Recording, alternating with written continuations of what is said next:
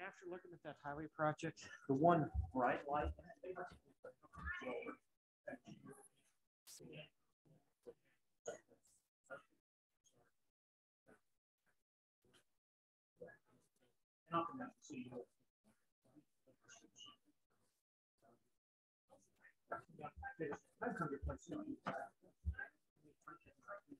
I I especially if it's like vintage or older stuff, or like, I, I'll look at something that's like twenty years old and go, oh, I remember that when I was a kid or when I was younger. Yeah.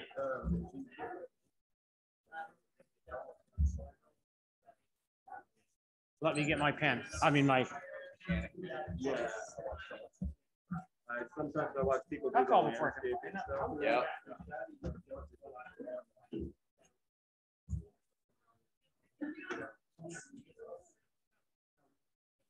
Yeah, I got hung out on the landscaping videos with the wife about a month ago, and now we have a three pond creek, you know, front yard, it's all bitching. It's like.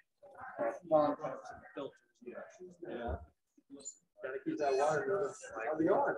Good to see you, man. Come on in. It'll be, uh, near the tail end of this, we're gonna focus on that particular project. All right. You just hang out somewhere within the range of that. I will, uh, yeah, so I'll, I'll do it.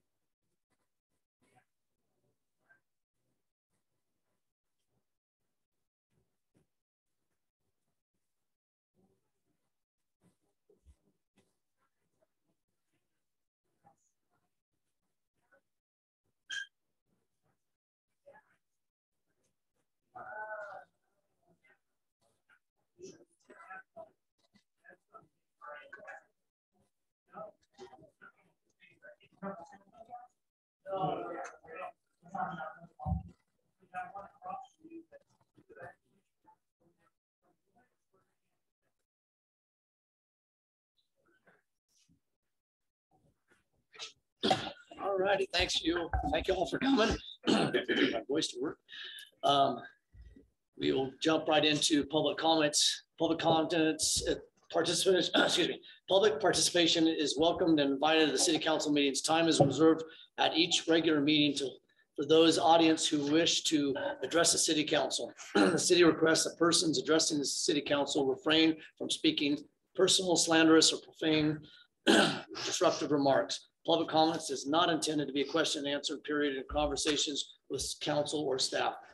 council members, when recognized by the mayor, may ask questions of the presenter, but no action may be taken at city council by the city council during the public comment section of this meeting. Under the Brown Act, the council, city council is prohibited from discussing or taking action on any item not listed and posted in the agenda. So if there's any public comments at this time that doesn't pertain to what our strategic planning session's about, this is a time to come up and speak. If it's something about the planning, strategic planning session, then there'll be time for people to comment on each, on each topic. So is there any public comments at this time? Not related to strategic planning? All right, we'll go right into what we're on here. So this is, um, this is a project list. Who's gonna start off here? with Review and discussion on the capital operating project list. So Yep, this is the city manager, Jason Ledbetter. We're going to start with a brief slideshow and just discuss strategic planning, what we're doing here tonight. And um, Retta, if you don't mind moving on to the next slide. So real quickly too, I'd like to say that, you know, we're gonna go through, you're gonna go through all this slideshow correct first? Yeah, we're going to go through a portion of this slideshow, which will lead specifically into this project list where we will then have the department head, the, the, the ones that are available. Uh, So the Director of Public Works will come up and he will go through infrastructure. And if you have specific questions about the list at that time, or if you want more information about where we stand on that project, uh, Mr. Bray will provide that information uh, if we currently have it. And then we will slide into planning. uh, and then we have three other topic areas where we will have the department head or myself be able to give you that information. Some of the projects you may not have questions on, which is uh, completely okay. But, uh, and then we're going to save the urban campground for the very end. I do want, since we have all five of you in the room together, I want to take some time to discuss that. And uh, so, yeah, you'll get to go over each individual project tonight. I just want to clarify that with everybody so they know that we're gonna be going through all this. And there'll be a time for the, for the public to speak on each topic too, just so everybody knows out there. Well, my preference would be that we save the public input till the very end Correct. after we, uh, when we start diving into the urban campground after the discussion at the council, then we would field public comment if that's okay. Mr. Mayor, Yes, Councilman McCoy, can we note that there will be no decision votes made tonight? correct. Okay, Only direction given. only direction given, but this, yeah, not a, it's just a planning meeting. Okay, Right, it's a thank you. workshop, right. And so tonight, we're gonna go kind of backwards because I have been here just over five months. We have a lot of new department heads uh, in the organization. And so stepping in, there were already a number of projects, as you are aware, uh, that were council driven and some that were staff driven and eventually approved by the council. So we're gonna go through that and we're going to work backwards as though we're doing a strategic plan for the existing projects. And really the goal here is if we get through this meeting tonight, if we don't require another meeting to finish this topic, we would come back in January after the uh, council is set for the following year. And we would go over goals to then look at building projects around the vision of the council. And so my goal here tonight, one of them is that at seven o'clock, we should, we should go ahead and wrap it up. This should just only take two hours. And if needed, if we're not able to complete this um, presentation, we will come back in early August to go back over the items that we missed here tonight.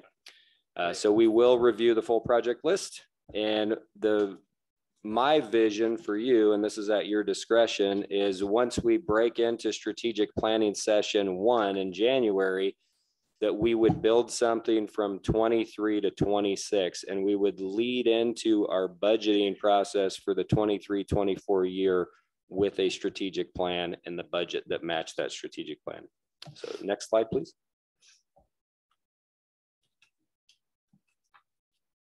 So part of the reason that we're doing this is just to provide the public and also to provide the council more in-depth information on the workload that we currently have. And I will be completely honest, at this very moment, I have personally reached capacity.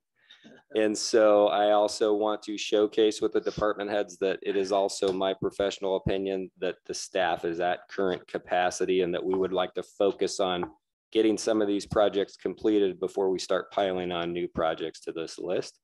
Uh, we're also going to give you the opportunity to know or ensure that the projects are staying on track. Um, an opportunity to define expectations and then even also reprioritize based off the list, based off the information you hear tonight. Maybe there's a project we're not aware that's more important to you.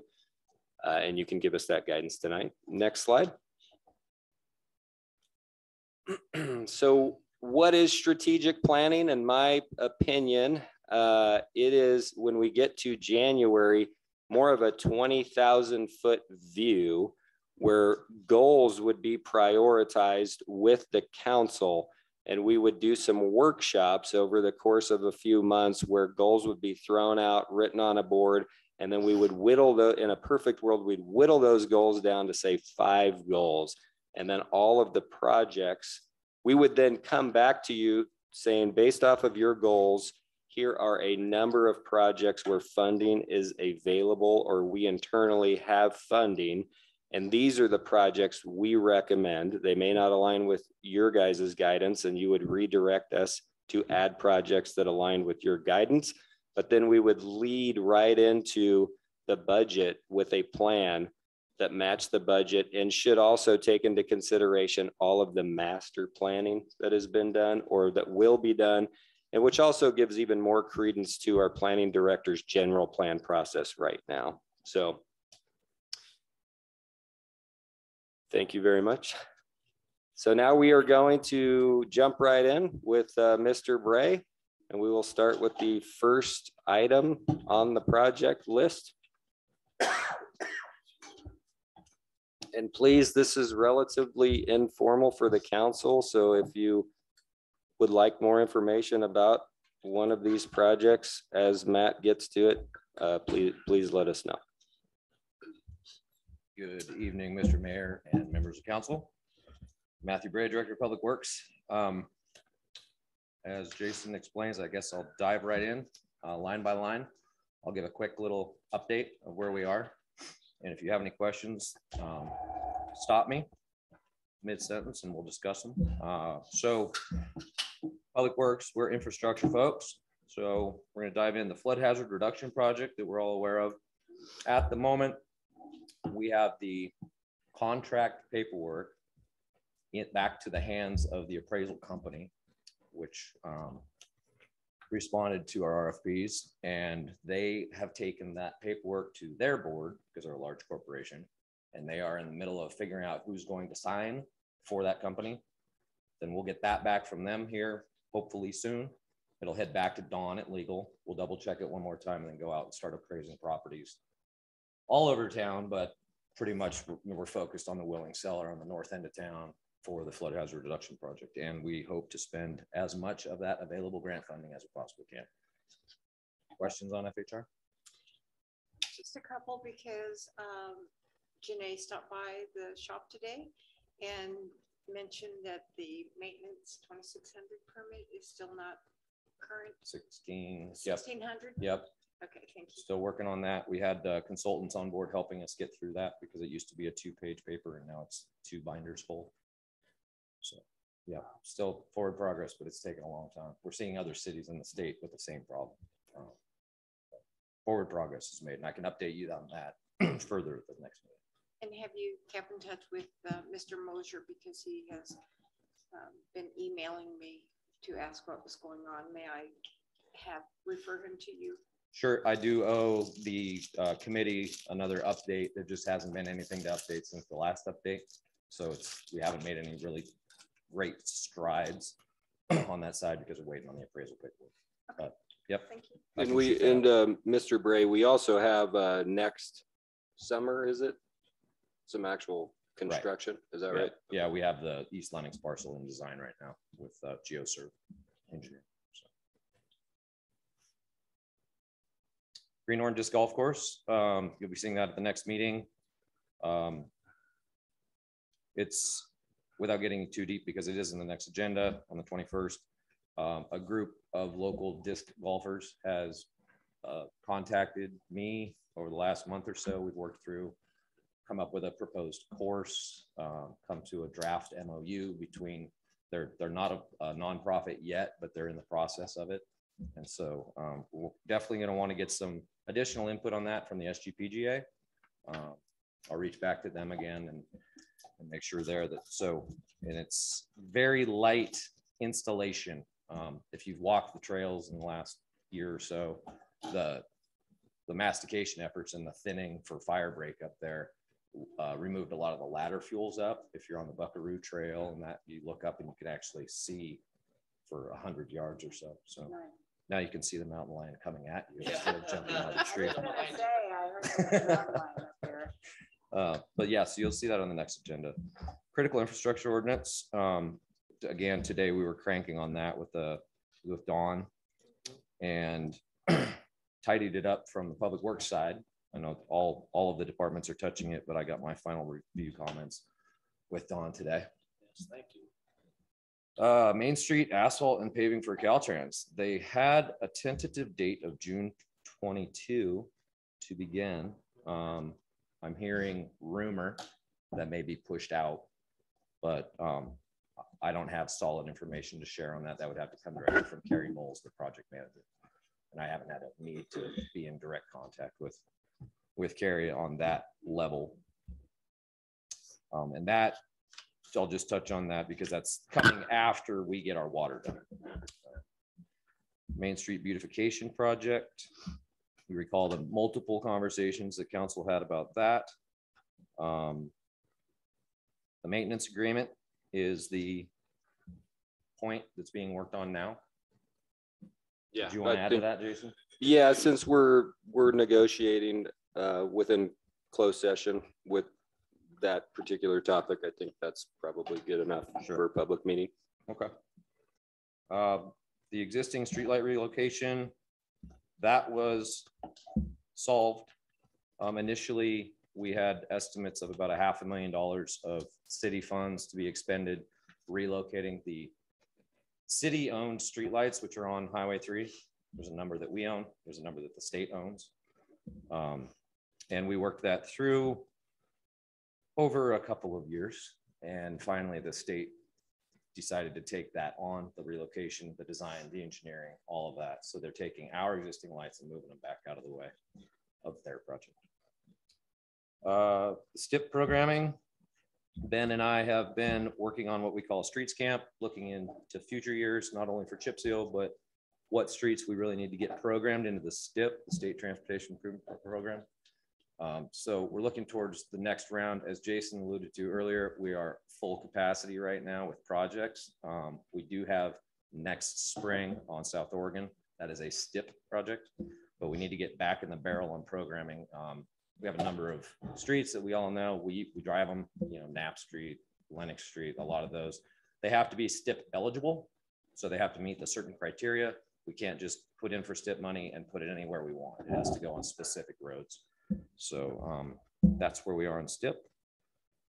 The Main Street water system improvements is what we're doing and getting in your way right now. Um, the sewer is pretty much tidied up, but the, the water system, we've hit Midtown and the Allen Gill construction is just cooking. They are making great time. Uh, Of course, with anything like that sizable water, we designed it around what we knew, what we had mapped. Some of these maps are from the nineteen twenties. Um, some of the pipes are from the nineteen twenties. So there's some businesses and homes along Main Street that we've taken out of water unknowingly. So when we, we flip them to the new section of pipe that we just put in after the chlorination levels come back and somebody's out of water. And so we've been chasing a lot of that. Um, we're working kind of through the Howard. We had some issues in the Howard area, the intersection there. Had another call this morning about it. So, and then we expect another hitch in our giddy up when we hit Rose Lane. But it should be fairly smooth sailing between where they are now down to Rose, and then we're gonna have some hiccups. I But it's going great. Alan Gill is great to work with as a company. I gotta tell you, I'm really impressed. It, it's a nuisance with all the construction, but those guys have been really pleasant and uh, efficient at putting those cones out. I've It's, taken out one cone, but it's, I, I I came to work the other day, there was a pile of about six of them by my truck, so somebody was shopping. br- bringing them back. It was great. But yeah, it's, uh, it's difficult. So, so you are aware that it, we are working in the state highway. And so Allen Gill has an encroachment permit through Caltrans um, for all of it, plus the traffic control. But with all of these hitches in our giddy up, we're just midday shuffles to get things around it. It's gonna get uglier. Um, but uh, yeah, most of the sewers off. So that's the water.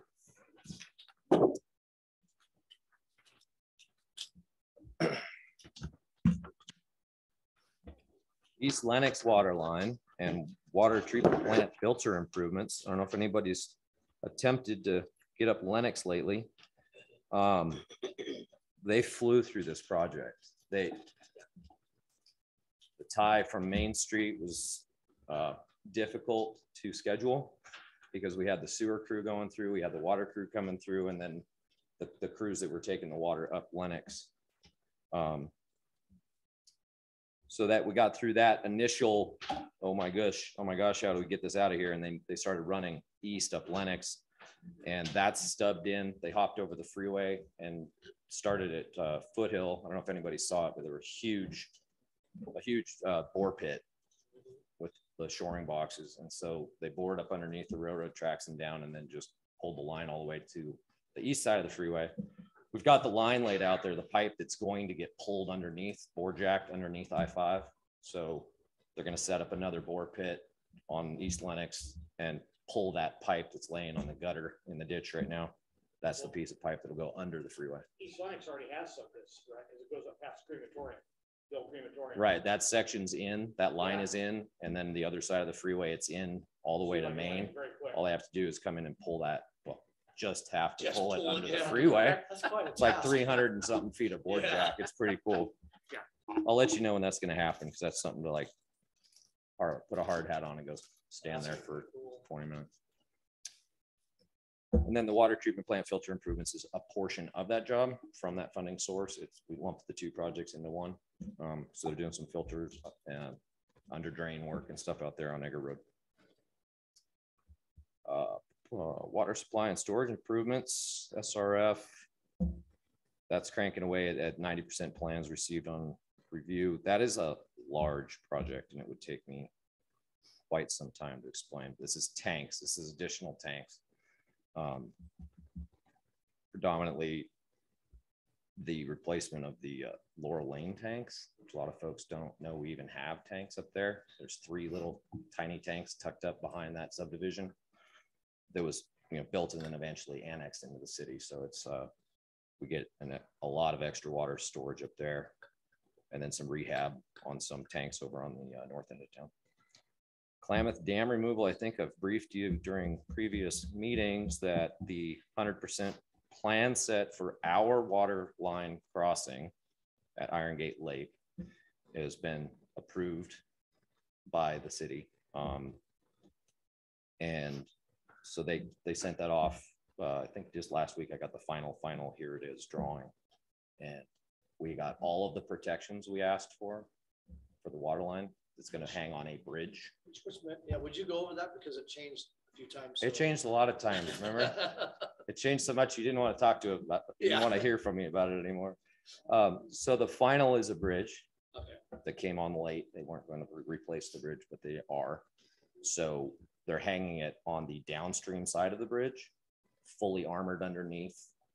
We upsize the thickness of the wall of the pipe to take almost all the way up to fifty cal bullets. That was a, a, a big concern because our tanks do get shot on the regular. They used to dent our tanks when you shot it with a 30-06 or something smaller. Now they pierce it because they're all copper.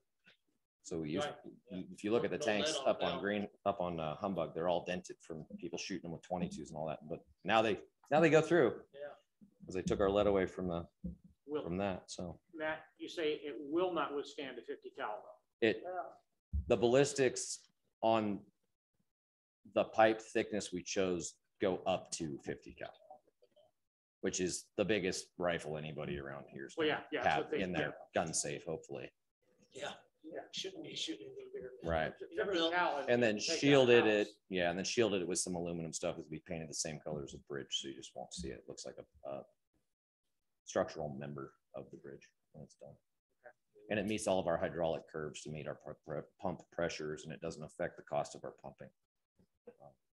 So we got it down and raised it up enough to where, the- when you talk FEMA floodplain, you know, I talk about it a lot, but FEMA has a hundred-year floodplain, which is a model of what happens in a specific area, typically urban, where this is what floods, and that's why you have to pay the insurance, um, or not. In far-reaching areas as Iron Gate Lake, there's not really a FEMA floodplain design.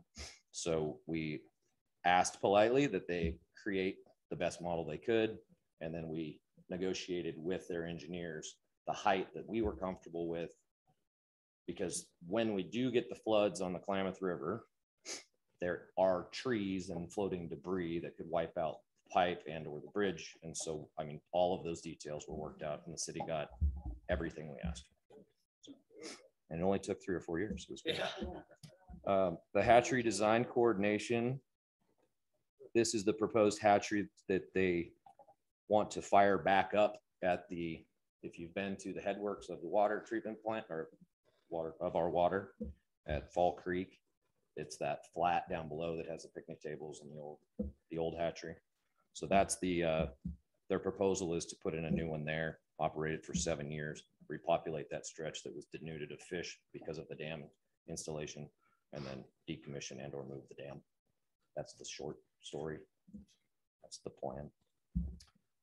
Water rights discussions, those are always um, ongoing. I don't think I really need to get too deep into that.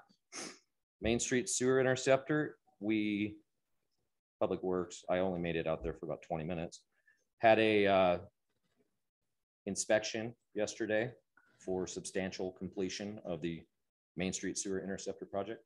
So Rob Taylor, Ben Miller, when he could be there, he's a little bit busy chip sealing this week, went through with the, uh, all of the, the site observers and the contractor from SNL and made the final punch list to come back through and tidy up what needs to be done. Um, some of the trench patching, some manhole rings that needed to be altered a couple inches, things of that nature. So we're at final punch lists, substantial completion.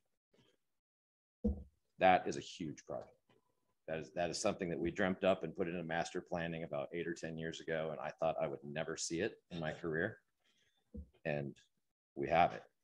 It's, it's an amazing upgrade. I know we were in everyone's way, but that portion is done. Burgess wastewater collection system, this one's in the barrel. Um,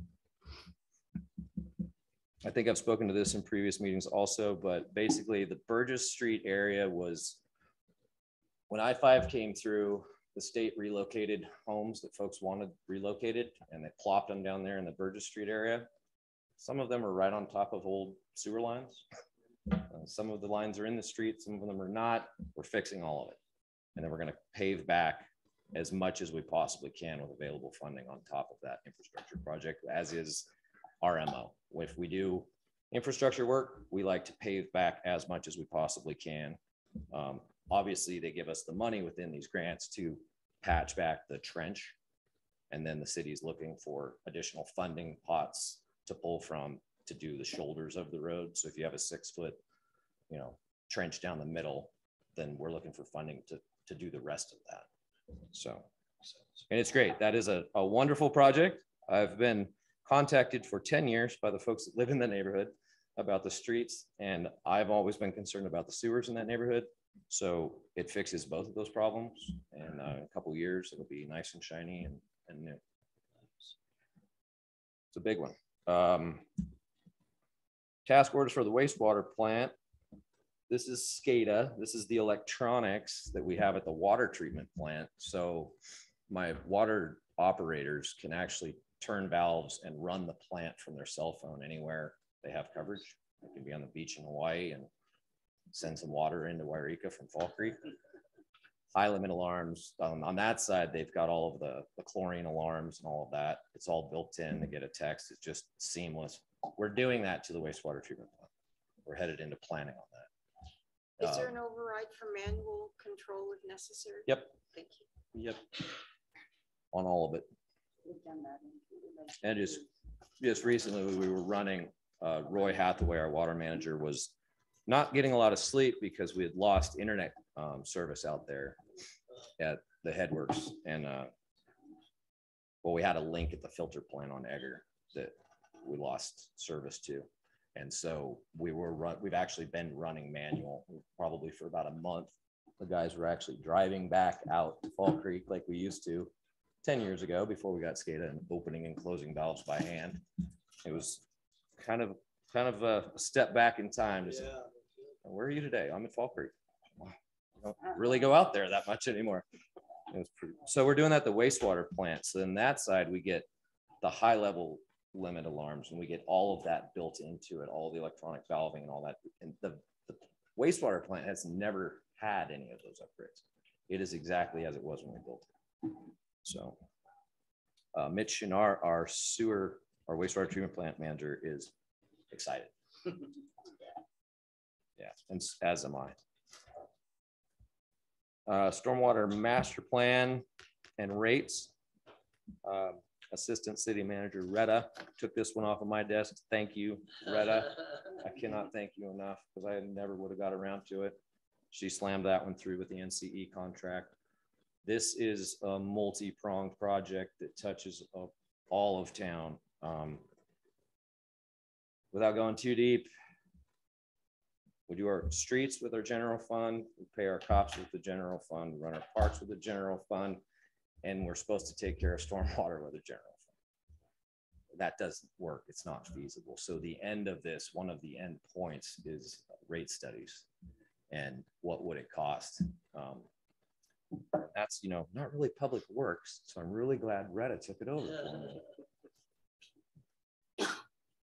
Uh, I did, um, on the bottom of that, waiting for MS four letter, I, I sent an email to Jason this afternoon. I don't know if you saw it, I sir. did, thank you. Yep. Um, I was contacted by my contact at the State Water Board, who had verbally expressed a number of months ago that the waiver letter that we sent for the MS four compliancy was likely to be granted, which would get us out of millions and millions of dollars of compliancy. And not only the city, like the trash capture compliance portion of that permit was twelve million dollars to put in cap, trash capture devices at the outfalls of our storm into the creek.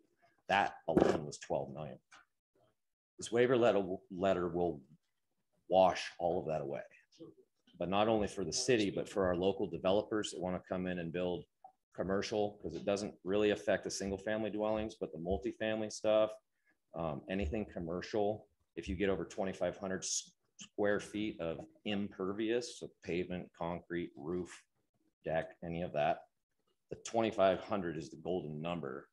And if you go over that, then the state mandated this MS four upon us, all of that compliance, you know, all those permits, all those items come in.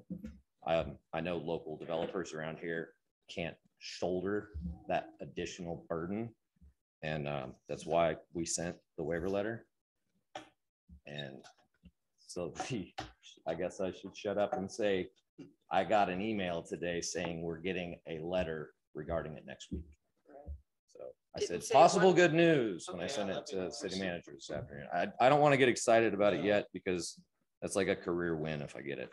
They ever say why twenty-five hundred square feet was the breaking point? Yeah, and twenty-five hundred, so anything under twenty-five hundred was a small project and there were, you still had to put in bioswales and stuff off your roof gutters, but it wasn't full-blown hydro mod engineering reports that um, over the years, Fred down at Pace and I poured over this math and made sure everything worked and um, on a lot of projects, it just didn't make sense. It wasn't logical. I mean, we all, on my side of the house, we all believe in the Clean Water Act. We live in Siskiyou. We all want clean water.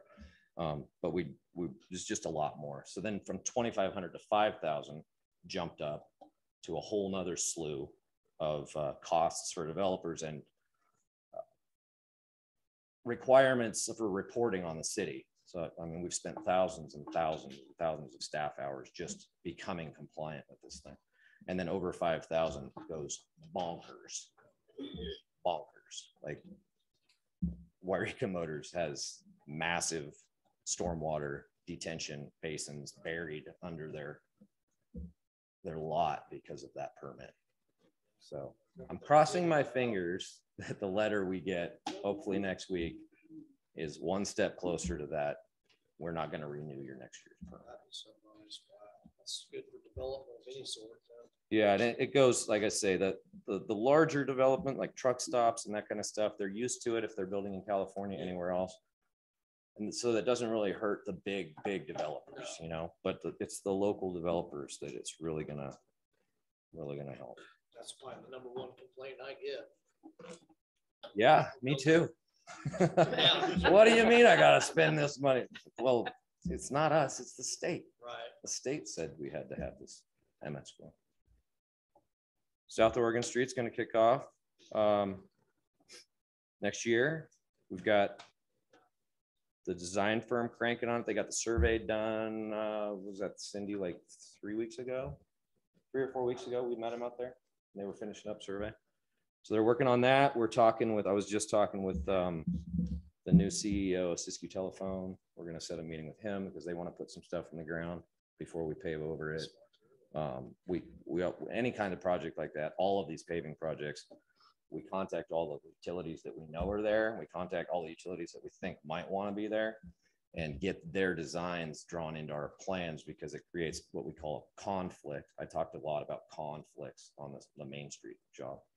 But if the gas line is gonna be to their design and hit the water and that, so we, we get all the utilities together to make the spider web work. And then we pave over it. And just be, yeah, so Siskiyou Telephone wants to get, they have, uh, middle mile and last mile programs where The broadband. Yeah, yep. So they want to throw in conduits for the future. So it doesn't mean that they're gonna throw it all, all their fiber in now, but they get the conduits put in. Didn't And marked out. Fiber down, like my neck of the woods, I thought. already Yeah, there's fiber all over town, but it's fiber and everybody wants it and everybody wants it to the home. Like in Etna, I'm, lo- I'm lucky enough to have Siskiyou base there, so I've got fiber to my home. Um, So that's, that's what the, the last mile stuff is, get everybody hooked up. What- so I guess until Elon actual Musk Start date of trumps it that. all. Of actually doing it. We don't have a start date yet because we're still in design. So un- until we get a little further uh, preliminary design and getting all that together right now. But I will brief you up as soon as we know. Yep. Oh, yeah, yeah, we got that's, that's uh STIP money that we pushed out. We pushed out a year on the construction side and Jason and I were speaking to that this morning. I can only imagine if we would have slammed it through in front of another project, one of these other projects, and had South Oregon torn up right now with all the detours that we had on, that would have been a lot. So Yeah. it worked out. I mean, pushing it off a year gave us the capacity to dial in on the other projects and get these that I've already spoken to, to where they are. And then we'll slip in that South Oregon while Caltrans is doing their regional replacements, because they're not tearing the whole thing out. They're gonna do it in sections from one section all the way down and all the way back up built. Oh, so. that's good. I've been. So the detours on Main are gonna be fairly light, and, and then I think I've mentioned before also that while we as the city hired our contractors to do the water and sewer portions, we can detour to our surface streets. Caltrans cannot. It's in their code that they, if they have a highway available, they have to, and they have I five available. So the detours will be onto I five, not onto Oregon Street. And then we'll be over on Oregon Street with one lane open as per plan.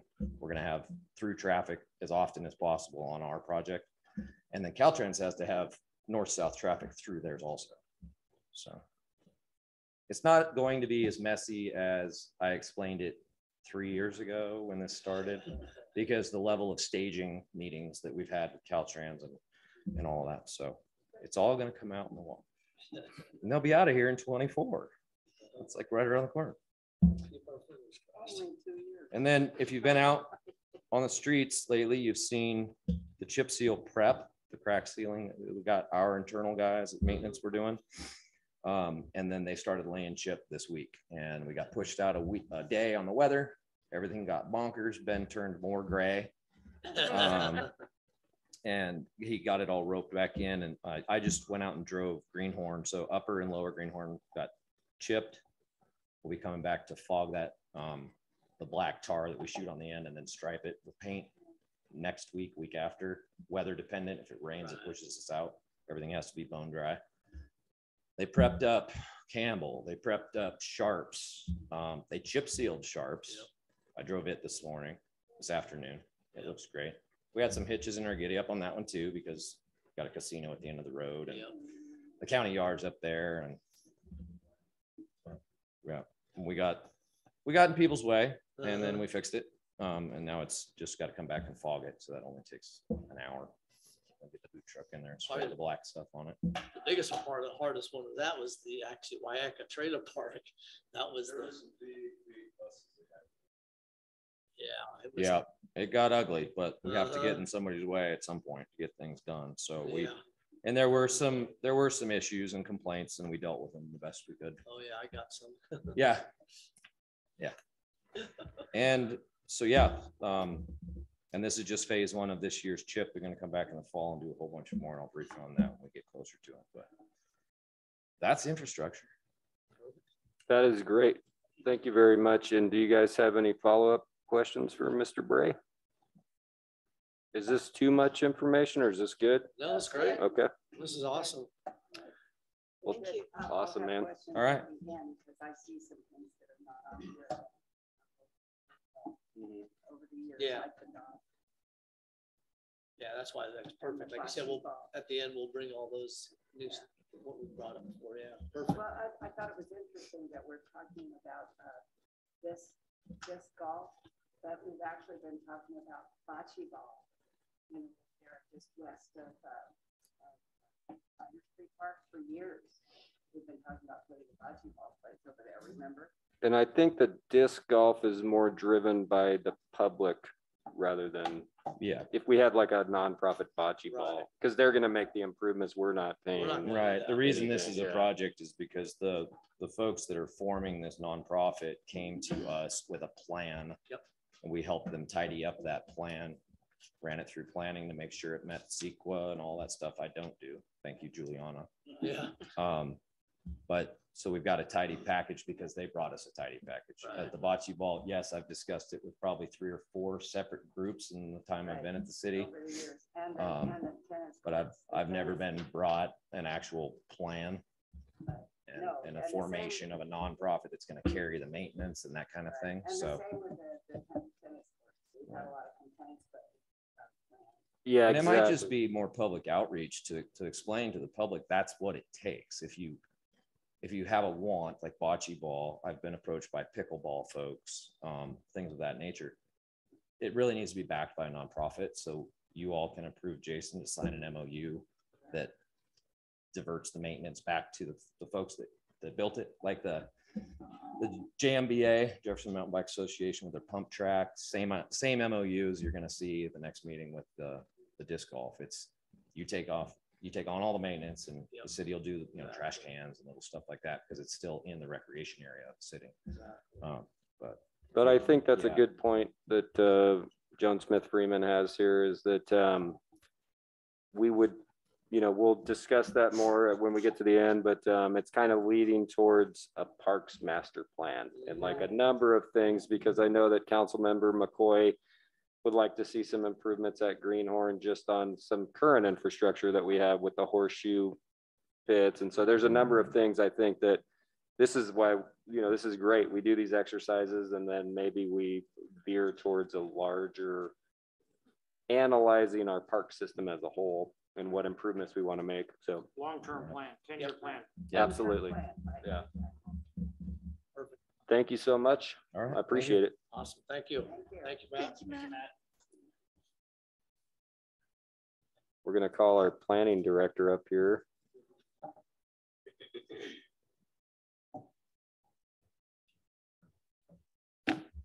We do have a separate list of all the projects that aren't prioritized right now, and we do have Parks Master Plan on the inactive list.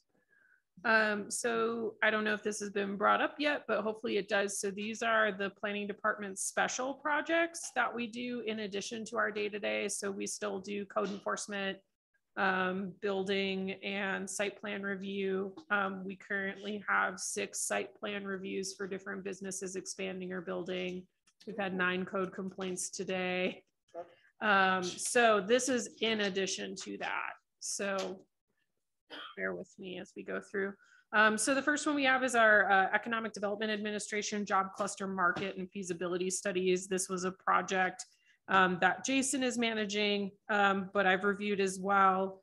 Um, and it kind of fits into the planning community development like catch-all um, phrase.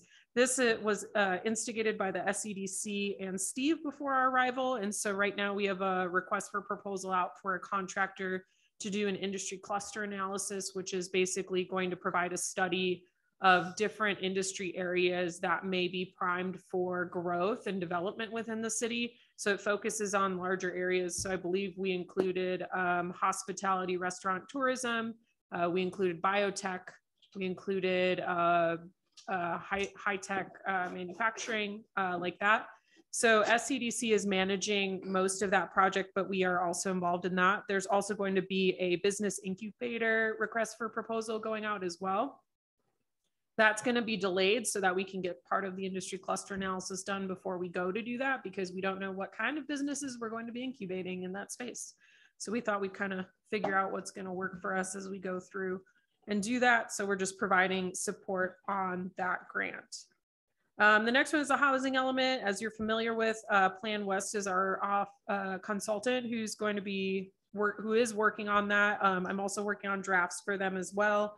Um, we're hoping to have an initial draft ready for Planning Commission review in July at their regular meeting, July 20th. And then subsequently we'll be coming for first comments to the uh, council after that. So either the August 2nd or the second meeting in August. Um, the process for housing element updates is different from the general plan because it has to go to an initial review at the state and then it comes back to us for final approval. Um, and there will probably be some changes between then and now. So we are still moving forward with some of the other activities associated with the housing element which is we are conducting more stakeholder interviews to now include large employers because one of the things we've been hearing is that um, employers cannot find enough housing for their employees. So we're getting more information on what that looks like, what kind of housing they're looking for um, to better be able to meet those needs. Workforce housing is a topic that will be within the goals of that element. So we are having a sector specifically for that. Um, there will also be a specific goal in there for the housing, um, sorry, homeless and unhoused populations, um, which kind of bleeds into some of the stuff that will be at the end of, of this session. Um, we're also going to be doing a citywide housing condition survey. Uh, we have not started that yet, but it's pretty uh, intensive. So we've developed a housing stock database looking at the uh, date that housing has been built and then what's the most recent building activity. And we're going to be focusing on some of those areas for redevelopment um, and looking at where we get code complaints most often because those houses uh, will most likely need the most work um, and may be eligible for abatement and redevelopment dollars through the community development block grant program. So the housing condition survey is basically we're on site going through the city and ranking each house based on a system that's approved by HCD on the condition of the housing. Um, the higher the number, the better. And the lower the number basically means it is not a livable uh, housing unit. So that will also give us additional information in that database to be able to target different areas with housing programs. So that is housing. We, the next couple of items were put together through the Senate Bill 2 funding grant application, which closes in December. So these have taken precedent. You'll actually be hearing the safety element update and circulation update at your next meeting, June 21st. Um, this is an update to the safety and public health element with standard language that's required for us to get reimbursed through FEMA. And then the circulation update is to move from level of service, which measures congestion and the quality of road, uh, metric to VMT, which is vehicle miles traveled, which is a new state mandate. So you'll hear more about that next week. And so those are directly funded through that grant.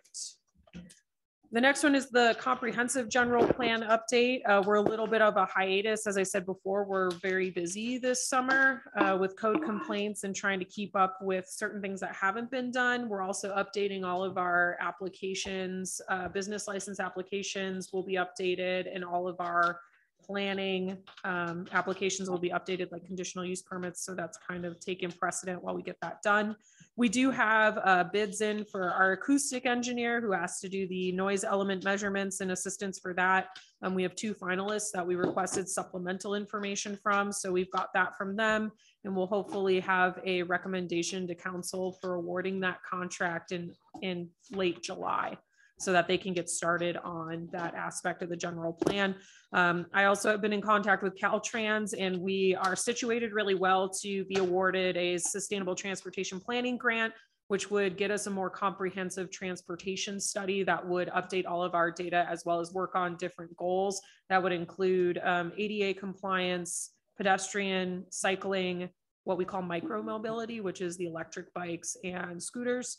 Um, so we're we're geared up to do that. We go for a grant for transportation because that data collection and analysis is is very costly.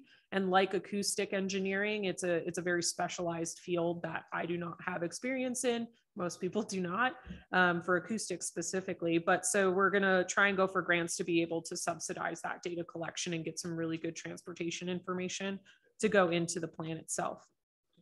This is Councilman Quite. As far as encouraging or we're looking at electric bikes and things. Um, my number one pet peeve is they're in cities, major cities, they're on sidewalks. Yep. They don't wear helmets. They don't, con- they don't, uh, conform to the law. They run people over, they hit them, the deliveries, whether it's UPS, FedEx, or Grubhub or something like that. I mean, if we're gonna encourage that, are we gonna be able to have the ability to, um, are we gonna have the ability to make sure that, that We can laws manage and some of rules those and ordinances negative- Are followed. I mean, for instance, in your larger cities, you only have so many bikes at a station, electric Mm-hmm. bikes, if you, if you have somebody that's coming in and putting them in there, whether it's Citi Bike or whoever it is, Mhm. but I mean, even the private ones, so, um, how, what, how is that gonna be addressed in this, you know, document? Yeah, so the circulation element is really unique for California that it doesn't just include transportation, it also includes utilities. And so there's a lot of overlap in the different topic areas that you're talking about with energy and technology. And so those factors will all be looked at within the circulation element. Um, you know, in terms of the e-commerce or the delivery updates, you know, we can definitely look at that as it becomes more and more of an issue. Um, but we do need some more data and we need to take a look at the streetscape specifically. Um, that's one of the other things I'd like to include within the planning grant is um, monies to do updated street design that's more unique and customized to the city of Yreka's needs, which would hopefully address whether we need temporary loading for delivery services, if we need um, specialized areas for those scooters to be placed. But there's a lot of literature around that that we can take a look at as that become it becomes more of the forefront of being addressed. I think a biggie for, uh, the thing I would be most concerned about is homeless people on sidewalks getting hit by them. And I would hope nobody would ride them on, but that's just not the case. Yep. I think fifty, and when I go to, whether it's LA or San Diego or New York or whatever, it's fifty percent of them are on the sidewalks. Yeah, Right. which they should technically be in the street. They should be, and the cops should say, well, we don't have the time. Yeah. We don't have the time to do Mhm. this. So then they hit people and they, you know, hurt them pretty bad sometimes. Mhm. Yeah, and, and it's all part of that planning Yeah, I mean, process. that'd be a concern for me because I am not a huge supporter of, you know, bicycle, I can turn around with my hand and go and, and, and hit somebody and knock them down when they get ready to hit me. But those are, these other ones are a little bit bigger Mhm. and they weigh an extra, you know, batteries and stuff and weigh an extra 100, Mm-hmm. 125 pounds. So Yeah, and there, there are different other facets that we can take a look into. So there's the American League of Cyclists, which actually has a whole uh, system of becoming what we call a bike friendly city. And one of the things that they address is how are you dealing with, um, they've renamed it now, it's not enforcement anymore, but it is about how are we doing education for the people who are riding, as well as how are we educating our law enforcement who will be enforcing the rules? Because a lot of times we find with the police department that they don't have as much training on how to deal with some of these other modes of transportation as opposed to vehicle transportation. So it's it's a multi-pronged process and we, we do have to have integrated department buy-in on that.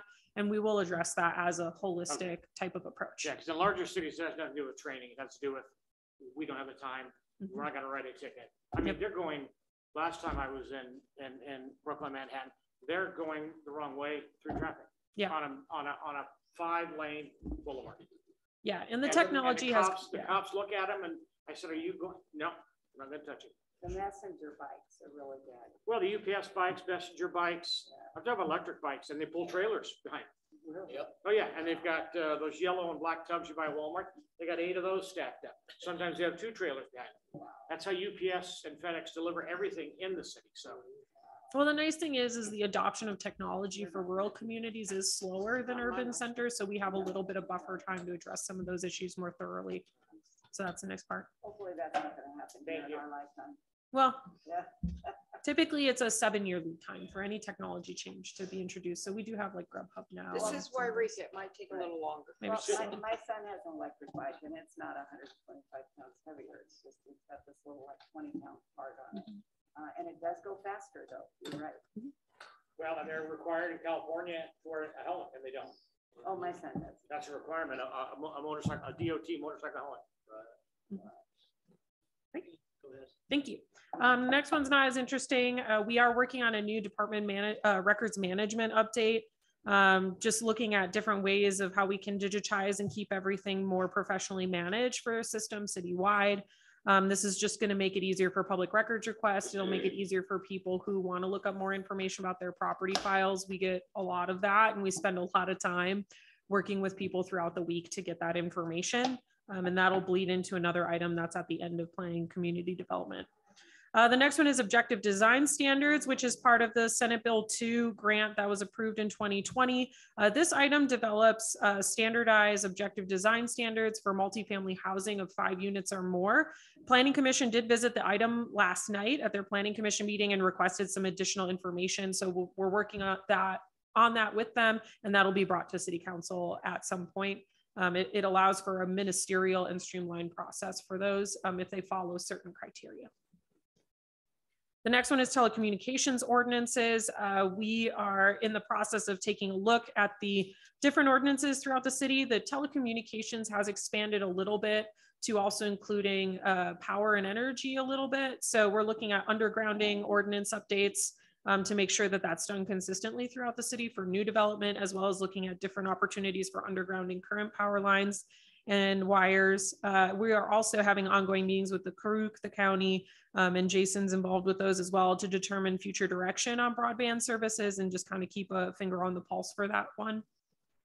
Uh, the next one is childcare ordinance. There was a very major shift in daycares in California that happened at the beginning of this year. So I'm working with Felicia on updating all of our ordinances and license processes around uh, childcare services.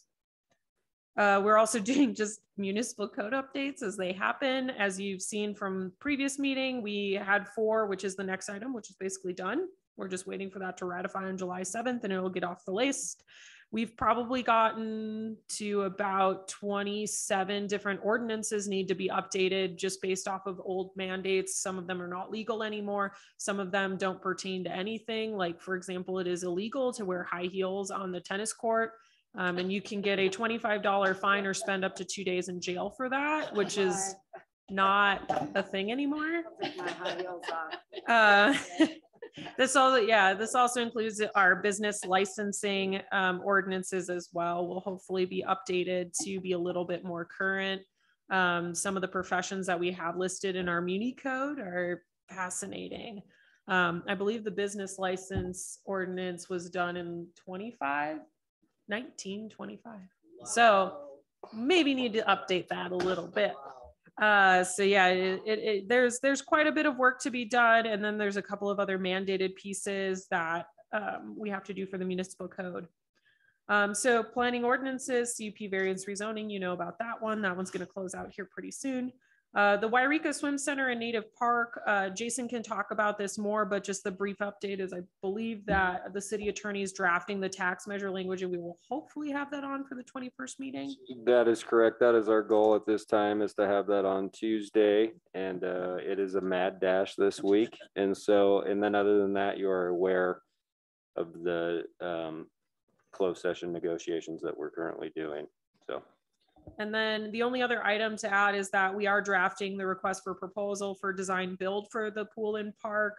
Um, we have not um, done anything with the CEQA piece yet. So that's that's the other one that needs to start getting addressed at some point as we move through the process. Uh, the next one is the Courtyard Greenhorn Park fencing and gate project. Uh, Cindy is managing this one. We're just, we're basically putting in some new gates there. Um, I think she's left for the day. So if you want to ask her about that later, it's a very minor project, but still needed to go out to bid, still needs someone to manage it. Um, and that's being uh, funded through enterprise funds. The next one is the Recreation Economy for Rural Communities, RERC Technical Assistance. That's funded through the EPA, US Forest Service, and Northern Border Regional Commission. This does not we have no allocations in the general fund for this at this point. Um, it's mainly just been Jason or myself attending the meetings. Um, this is being primarily managed by SEDC, and I believe there's going to be a workshop next week. Yes, that is correct. So, and I'll send out more information. I know Miss Smith Freeman will be there, but there'll be some workshops to attend. So. Uh, the next one is the Carnegie Building, which is a collaborative project between the city and SCDC. Uh, this is being funded through USDA funds and uh, community development block grant funds. Uh, right now, they are currently working on the uh, engineering design for the updates of the building and to address the asbestos and other items in that building. Um, this is also partnered with our Brownfields grant project and then uh, right now we have just mainly been having meetings with how to accommodate ADA compliance on the building. And then uh, CEQA NEPA needs to be done for this. Uh, SCDC has a consultant doing that instead of us, which is lovely because we do not have time. Uh, but we are still coordinating with them on that, that document preparation since we are technically, we could be the lead agency for that. Uh, the next one is the community theater HVAC. Uh, Cindy is also managing this project, but mainly uh, we have the office, the OGALS grant. Please don't ask me what that acronym is. That's probably one of the few I don't know off the top of my head. Um, that is the per capita funding through the Prop 68 fund through parks. And so uh, we have been trying to get an upgraded HVAC system for the community theater. The first round of bids uh, was not successful. The second round of bids was less, less successful. So Cindy is having to go and get direct quotes from vendors to do this project. Um, it's just really busy. Everybody's really booked out right now for projects. So we're just kind of working on trying to get that done.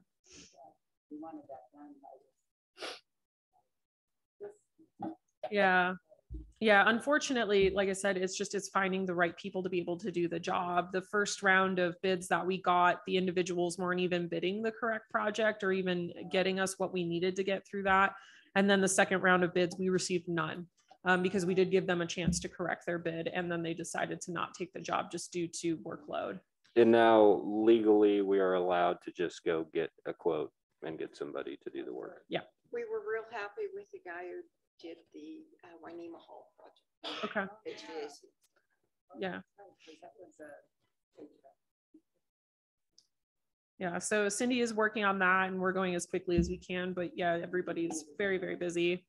So we've got the City Hall remodel project, which we're hoping to fund through CDBG program income. Uh, the RFP is actually out today. Cindy got that done.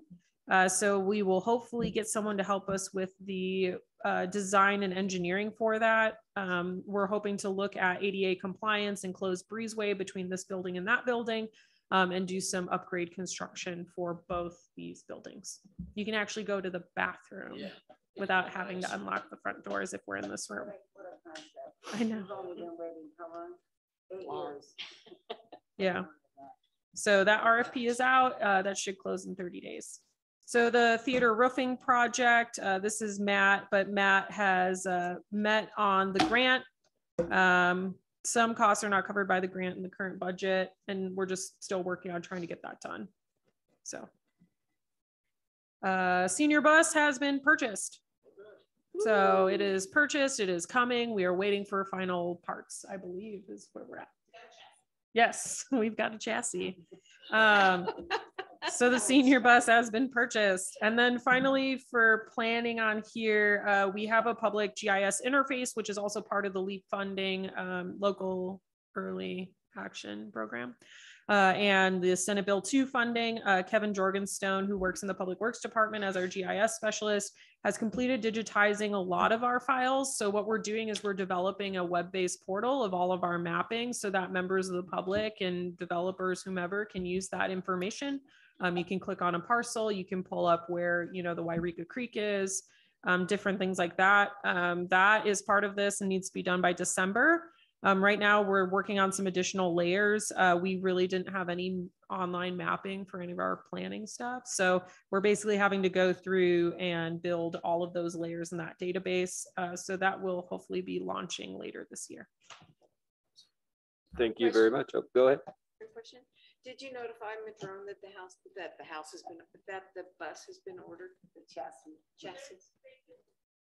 Okay. Oh, they have been? They've had to sign some documentation. So Okay, cool. Yep. Thanks. Cool.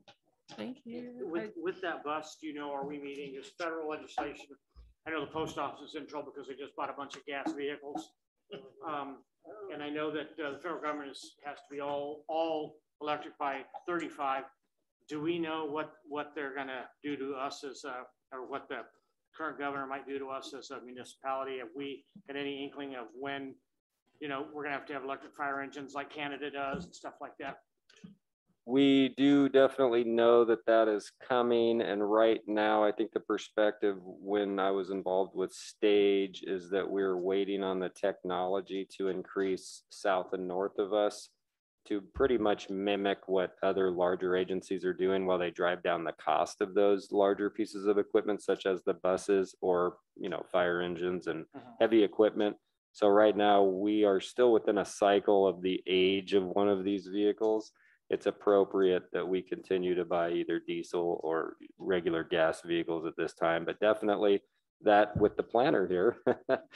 uh, As we move forward, there should be, we should be seeking to work with the LTC and getting some planning money wherever available to reevaluate the whole, the system as a whole, because obviously we would need charging stations as well. And so being such a small agency, it's just prudent to wait. And so the price comes down as the scale gets larger. But as, but, but as far as, I'm sorry, okay. but as far, um, Mr. City Manager, as the, as the, uh, legislation goes in California, we don't have anything hard and fast yet, is my understanding, like they do at the federal level, where they're, where they are going to all electric by twenty thirty-five. I believe that the governor did come out within the last two years and make some statements that I think maybe correlate with twenty thirty-five. It's the, it would discontinue the sale of diesel and gasoline vehicles, but I don't believe it extends to utilities in certain aspects.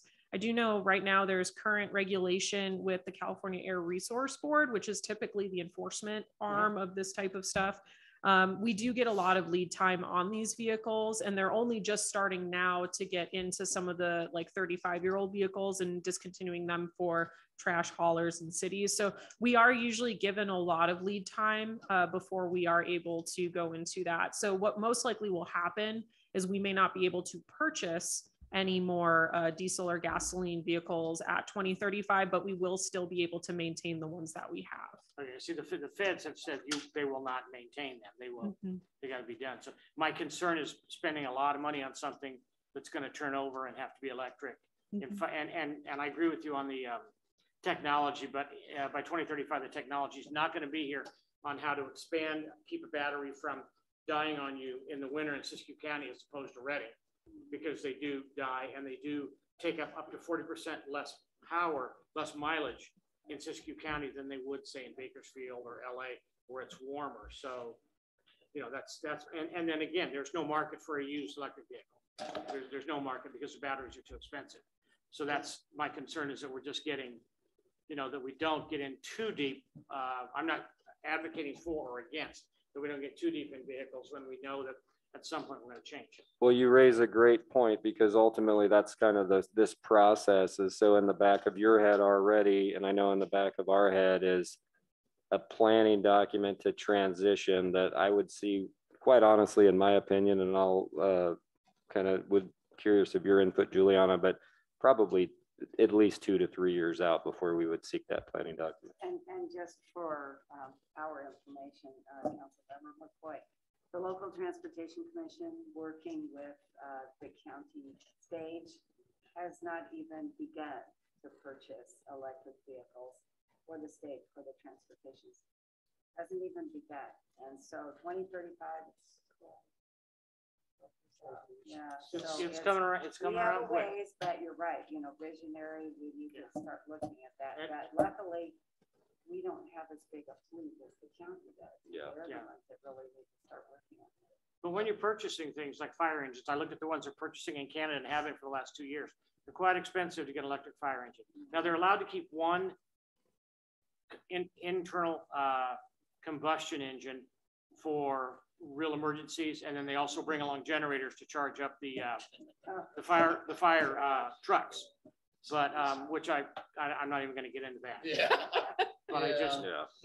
Yeah, That makes a lot of sense. yeah. Gotta, Gas gotta a generator. gas Gas generator to power up the electric vehicle. That makes. a lot I of mean, sense. we've been waiting for thirty years to get phone chargers that are the same, and Yeah. how long is it gonna take for them to give us car chargers that are the same? Yeah, but That's you think true. about it, the technology is changing rapidly and Yeah. the cell phone, looking at the bat, you know, the life of a cell phone now and how long you can get mm-hmm. and what it does in conjunction. And I heard they've coming up, actually, I heard just recently, they actually did come up with a new battery um, that's getting developed right now that's supposed to be the. Doesn't last long. We So- dispose eighty million of these annually in the world. Eighty million, not, not recycled, we dispose eighty million in landfills. Well, before we go, uh, I'm sorry to cut you guys off, but uh, before we go too far off, just if we have any more questions for uh, the planning director and The only other item I was gonna hit is there is a hazard mitigation and emergency response strategic goal where we're looking at updating all of our safety-based ordinances. I believe this was a request from the city manager to review the ordinances and also develop language on temporary uses versus specific situations for sheltering, sheltering animals during natural disasters. I think that came up a little while ago. So that is also on the docket. It's under hazard mitigation, but we're also handling that as well. So. Great. excellent. Thank I've you got a very much. questions. Okay. Uh, Councilman Smith Freeman brought this up. Um, we are way, way behind on the community theater HVAC. I mean, way behind. This, this should have been in the bag probably in March, Mhm. you know, or, or March, April, or May. It was supposed to be Um, done last year. It was supposed to be done about four years ago, Well, it's supposed to- actually. yeah, but I mean, yeah, but I mean, this council finally got pushed, it. any, how can we push this up? I mean, this really needs to be like pushed up to tomorrow. At this really point, we legally had to go through the process of the RFP. And so we went through that process twice and now we are capable of technically just seeking a quote and contracting. And so that, that's what we're going to do. So And do we have, uh, I don't want, I don't need names, we have uh, a company or two in mind that we're going to contact, and when are we gonna contact? them? We have a local company here that we believe is capable. It's not a nor, from my understanding, it's not a normal HVAC No. project. It requires pace on uh, the back end or the front end of this project. So uh, I will convey that information to Cindy, who's managing that, and we'll get a timeline. And then within the staff report on Tuesday, I'll follow up with the timeline. Thank you. Yeah, I, I personally like it fast track, and I had to wait four and a half months to get mine. Uh, for just a, um, from a local company here, they had to wait four and a half months, um, because of the lack of them, so I don't know. Maybe, maybe the ones in the, that they're gonna put in there is gonna be more readily available, but I'd like to have a timeline as to when they order it, you know, when they order it, when it's gonna be here first, because then after that, they've gotta figure out how to fit you in. Yeah, exactly. I think that what we're seeing is there was an, an influx of ARPA and COVID funding that schools and businesses were redoing their HVAC systems for MERV, whatever compliance. And so all of these people, there's an influx of money as we kind of approach maybe a downturn economically. There's also the stimulus money that are keeping contractors extremely busy. And then obviously the supply chain issue is uh, wreaking havoc on this particular project, and it was wreaking havoc for a little while on this, on the sewer and water project. Um, but we will bring you that information on Tuesday. Yeah, It's not your guys' issue, it's one, it's, we've been through three city managers and Public Works, yeah. department heads, and it's just, it seems to get dropped all the time. And it's Yeah, a well, beautiful especially- building. Well, we didn't have the funding. That's what's nice about it now. We have the funding. Before, Right. when we started this process, we didn't have the funding. No. Right. So that's what's cool about it. We actually do now. Um, can I ask another question on the Carnegie Building? It's, see, how, how long is our? What's that? I, I didn't mean to interrupt you. But Retta held up her hand and I'm, I was just gonna say this was the third bid really, because after the first bid on this call, Mhm. the, um, we had to go back to Pace Engineering because the design specs after walkthrough with the contractors were not adequate. So Oh, that's uh, right. this is actually, we had to update design specs, so this is actually the, um, so it went through the Pace Engineering design process. Then it went out to bid for the second time with the updated design specs in February. Then it went out again in A- April, I believe. so why do we need Pace to review them again? The first bid, it was inadequate. That was, um, I believe during COVID, um, and it was also, So we get a discount the next time? So we paid them for something that wasn't adequate. no. No, I believe have- that what happened was is everybody felt that this was kind of like an HVAC system at your house.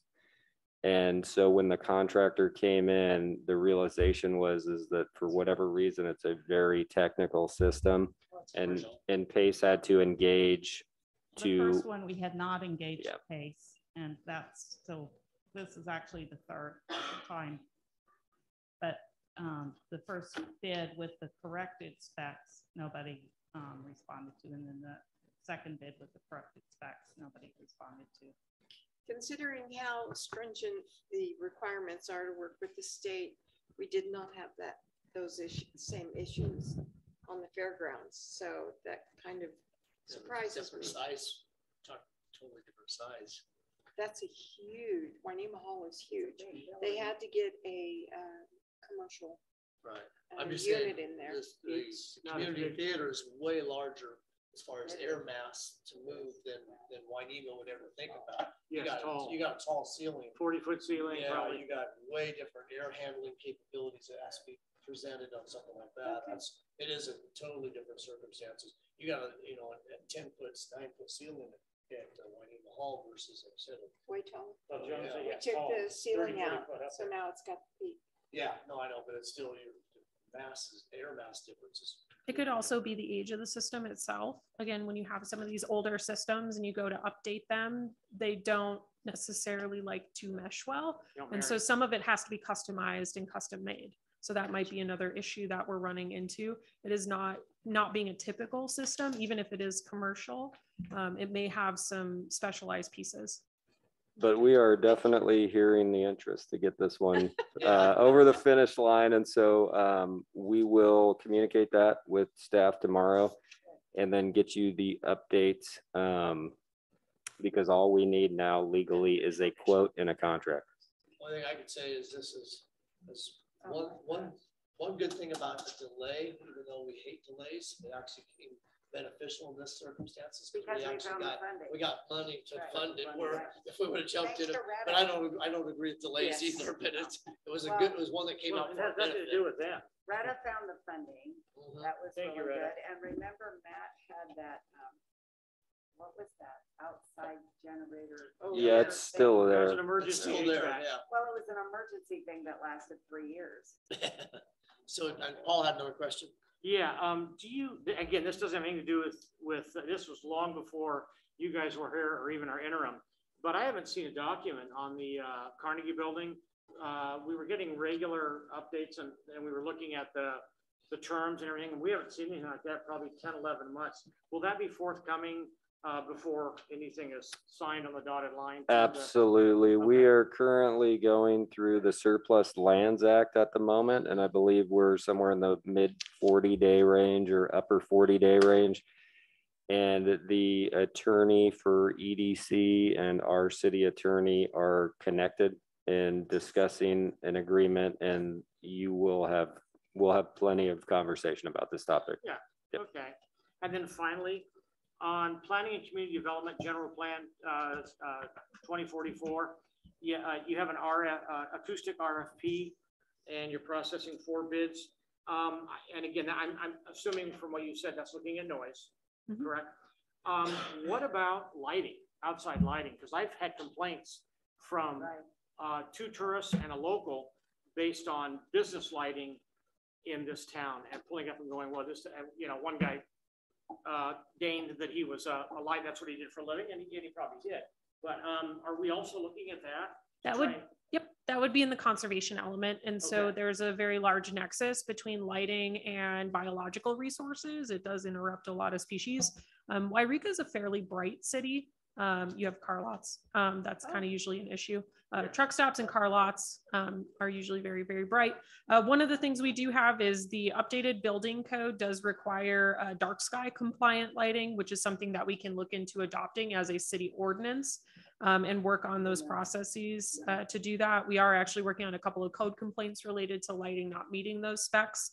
Um, we also do have uh, current regulations in the zoning code that requires all of our lighting to be downward facing and to not uh, pollute adjacent properties. So if we do have a situation like that within the city, you can fill out a code complaint um, and we encourage people to do that. So we keep a paper trail um, and we're slowly working on getting to those Okay. cases. Thank you. So, I yeah. appreciate your time.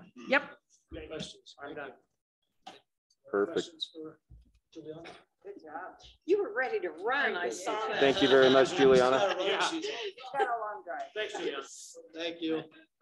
So I'm just gonna go ahead and cover, um, and maybe with some help of anyone else that wants to chime in, but just real quickly getting through the rest of these. So uh, the emergency generator project, that grant was awarded and was being managed by someone that's no longer employed here. And so I will have to follow up with Matt, but essentially that, he, he recently kind of reevaluated that, gathered the information from where we were in that project.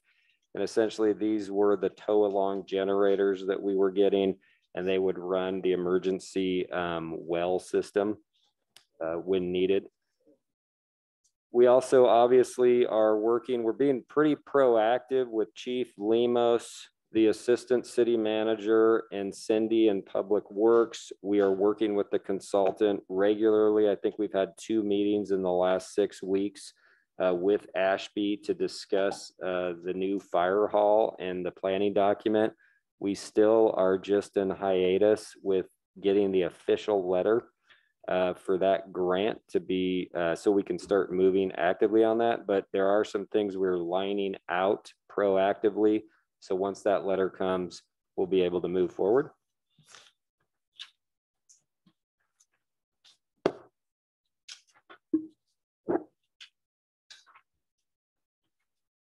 So, and I believe Juliana touched on the hazard mitigation and emergency response um, safety ordinance update that she's working on. We also generally, we manage a portion of the Brownfield EPA grant as a subrecipient over to the EDC.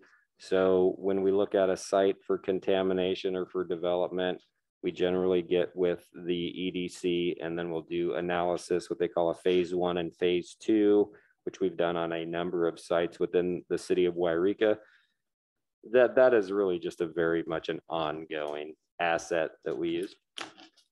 Uh, and currently, the assistant city manager is really heading up uh, with Chief Lemos and Chief Gilman and Josh Stanshaw, I believe, is a part of that team, Retta. Uh, and we actually had all department heads on a meeting recently where we're looking at rectifying some of the dispatching issues, the medical dispatching for the fire department.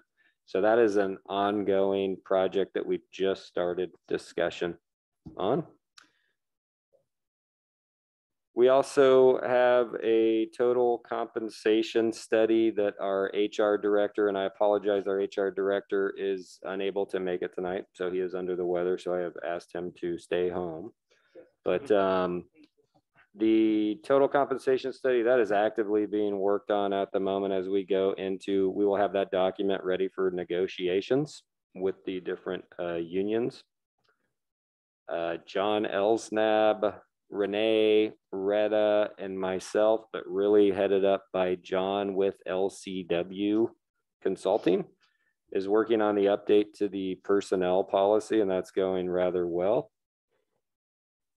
We are definitely upgrading and beefing up our personnel policy. The goal is to have that ready as a negotiation with bargaining as well. And then, did you want to talk, Emily, at all about the citywide fee schedule possibly the two eighteen and where we stand on that?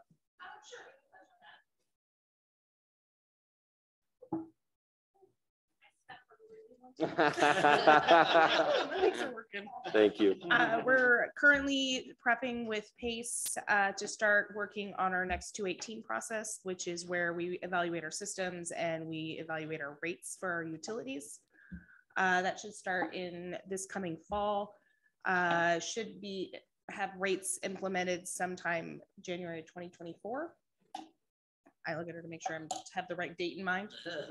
Uh, and we're lo- looking at our overall fee schedules for all of our activities. You heard Juliana mention that our business ordinances are from nineteen twenty-five. Uh, so we will be doing a full evaluation and establishing where those are at. Good. I think that's Perfect. Valuable just because to keep an, an update, to keep it up to snuff to where then we don't get caught in the future by our fees being way too low and then have to make a big adjustment to adjust for that. That's Absolutely. with our water, you know, with, in the past, that's, we got tons of complaints on that because we weren't raising that level gradually and we did it all at once and then everybody complained, so. Yeah.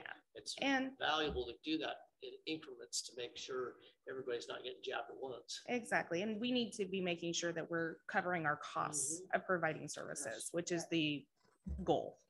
Well, yeah, you can't make a profit.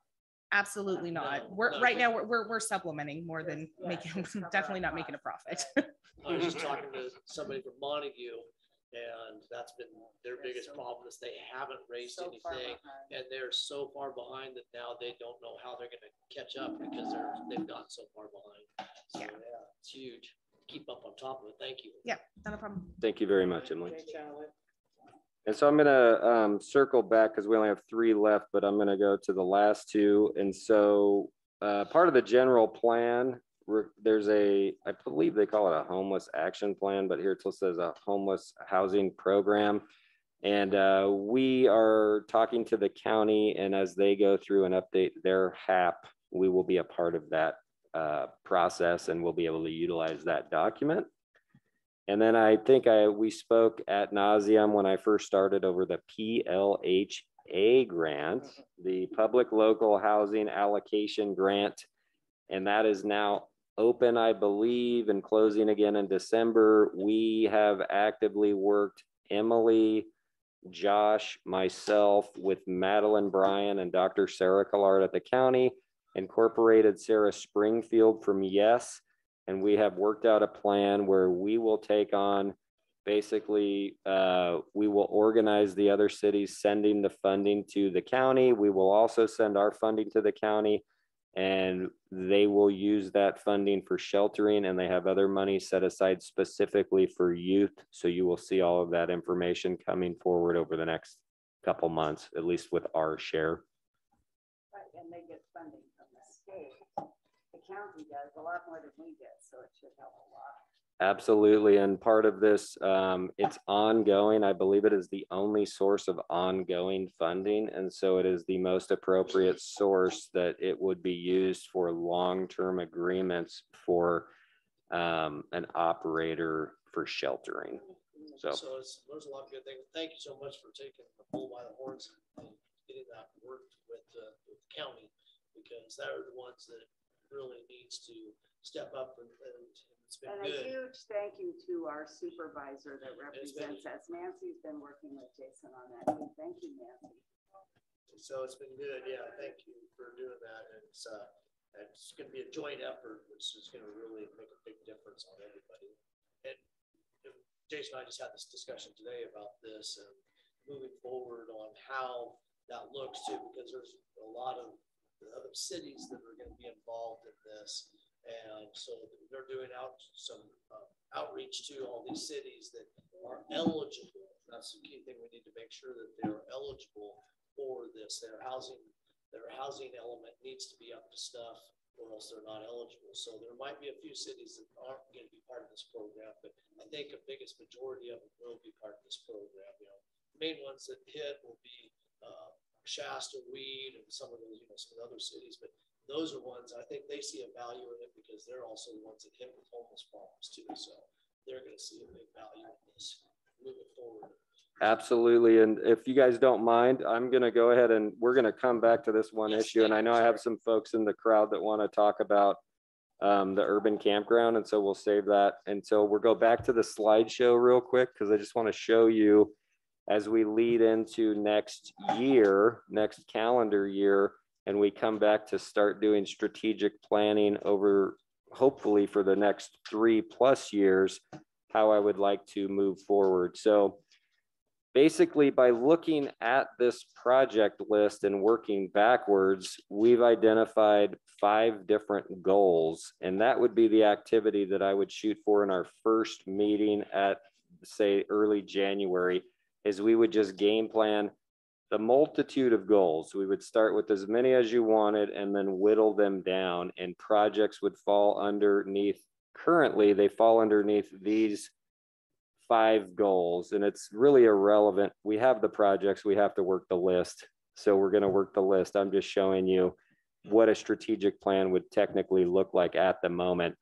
The first goal I really wanted to call water, but looking at all of the projects with infrastructure, we just stuck with infrastructure. You can see the correlation on the left-hand side, the strategic goal.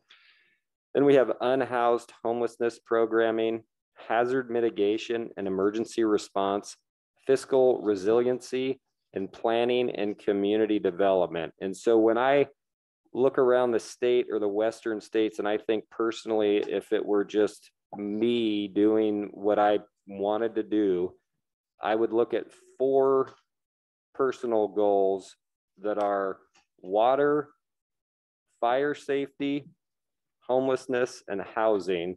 And the cities that really focus on that, I think, will be set up for the next 10 to 20 years. But th those will be determinations made by the council, and then the projects will flow off of that. So if we can go to the next slide.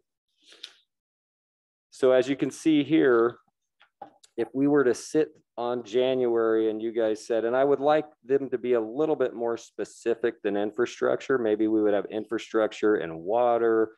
We would have uh, infrastructure and, and maybe different spe specificities under infrastructure. But you can see how many projects, and these are majority are public works projects that we currently have on the docket right now. And most of these, as you heard tonight, are all very active the planning piece, and I believe Juliana and Retta, don't know exactly, but it's usually a dollar in planning saves eight dollars. Is that right?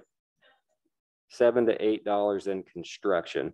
So a lot of these projects went through a serious amount of planning before they actually the public started to see them. So the other strategic goal, as I see it right now, is around planning and community development. And obviously, our planner is extremely busy and has her hands on a number of projects currently.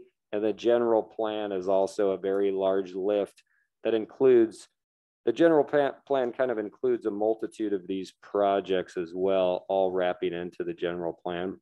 The housing element was kind of a part of the general plan. Uh, next slide, please. So then we have hazard mitigation, emergency response. So for me, this is where fire would go. So we have the generator project and the fire hall and then fiscal resiliency. Really, I remember a couple months ago talking to some members of the staff and I said, you know, 22, 23 is a year of revenue. Go give me, go give me some money so we can do some of these fun projects. So uh, that's what uh, Emily, our finance director, was just referencing. So we have the 218 and then a complete evaluation of where we stand on different revenue measures and projects that we can implement um, to make sure that we're charging appropriately for what we're actually giving and not subsidizing uh, some of the projects or programs that we currently run. And then the last slide, is there another one? So then unhoused and homelessness. Um, obviously we're about to talk about the urban campground. We do have, and I'll just kind of briefly say, DTSC did get back to Juliana this week. They will pay for the cleanup at the uh, urban campground site on Foothill. And so part of tonight is they, but they also want to know what the um, development looks like after the cleanup takes place. So that's kind of what I want to talk about tonight. And obviously we worked out PLHA. Uh, next slide, please. So we made it through. Originally, I thought we would come back in August, but what make if we didn't finish, but what makes the most sense to me is after the election, uh, pretty much in early January, we would come back and reassess actual strategic planning. We can bring the project list back and do more of, more of this type of, uh, update whenever you want in between that time. But I think it probably makes the most sense to get through that election. And then we would lead into the next budget. And you guys really in that first session or session two, knowing what we're looking for our goals, we would just start writing down all the different types of goals from a twenty thousand foot view of the council. What improvements do you want to see? Where do you want to see us focus? And then we would take that information after a few workshops and we would come back to you with a large project list, knowing where funding was available. Maybe we wouldn't have all the projects that you desired. You can redirect us. And then we could whittle that down and build out the next three years so that we're just all moving in the same direction. So if that works for the council, I propose that we come back in early January for that strategic planning session.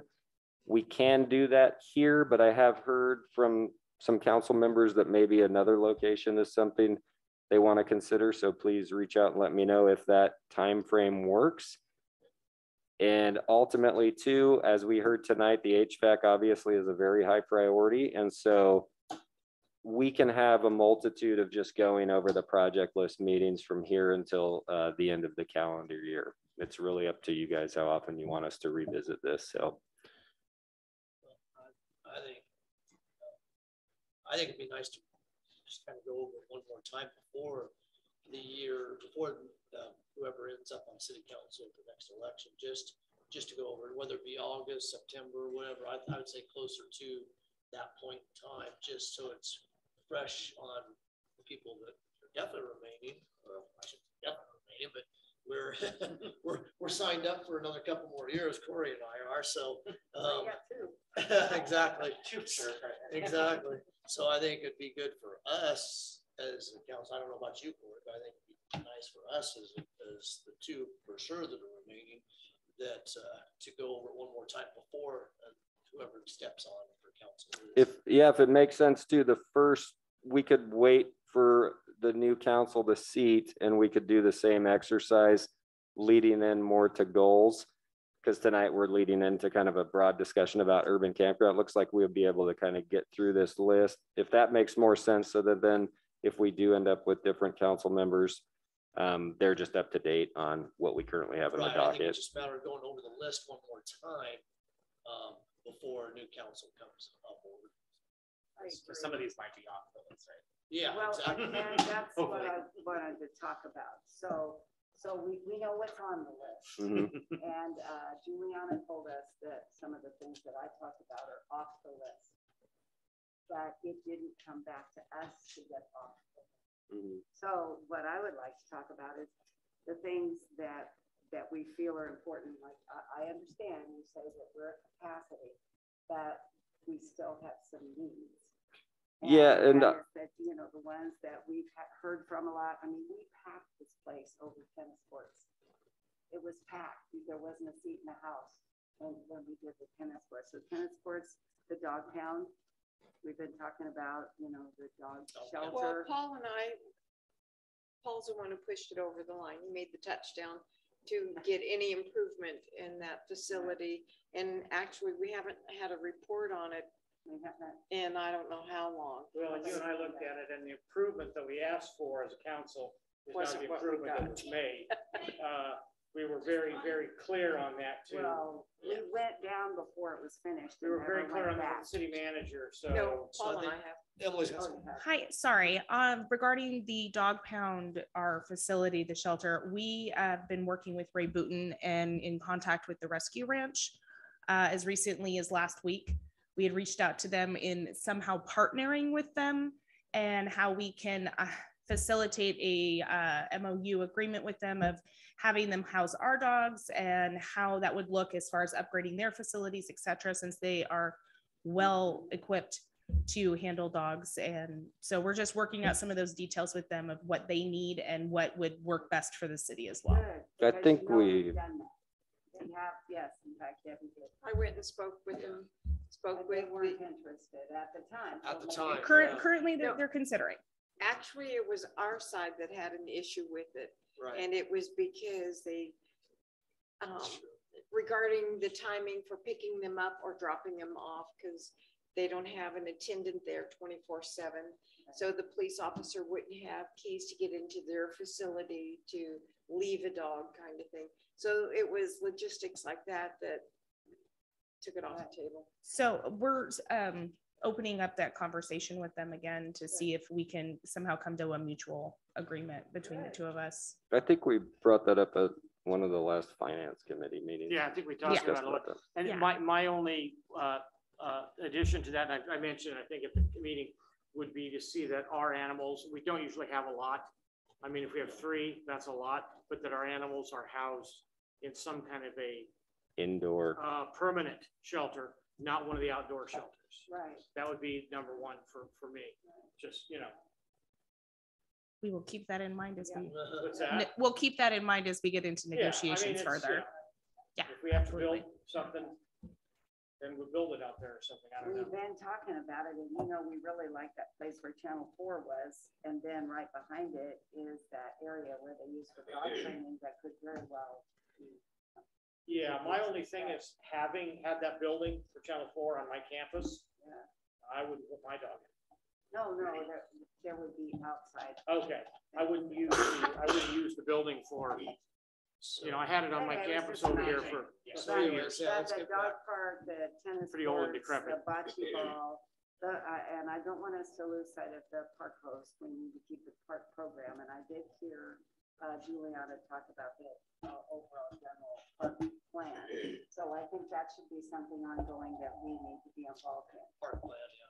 Yeah, I think we would seek a planning grant and we would then start with a parks master plan and do an evaluation because ultimately the same similar funding mechanism or say Prop sixty-eight, I know Grace Bennett is doing a lot of improvements at Hibbard Field with Prop sixty-eight funding.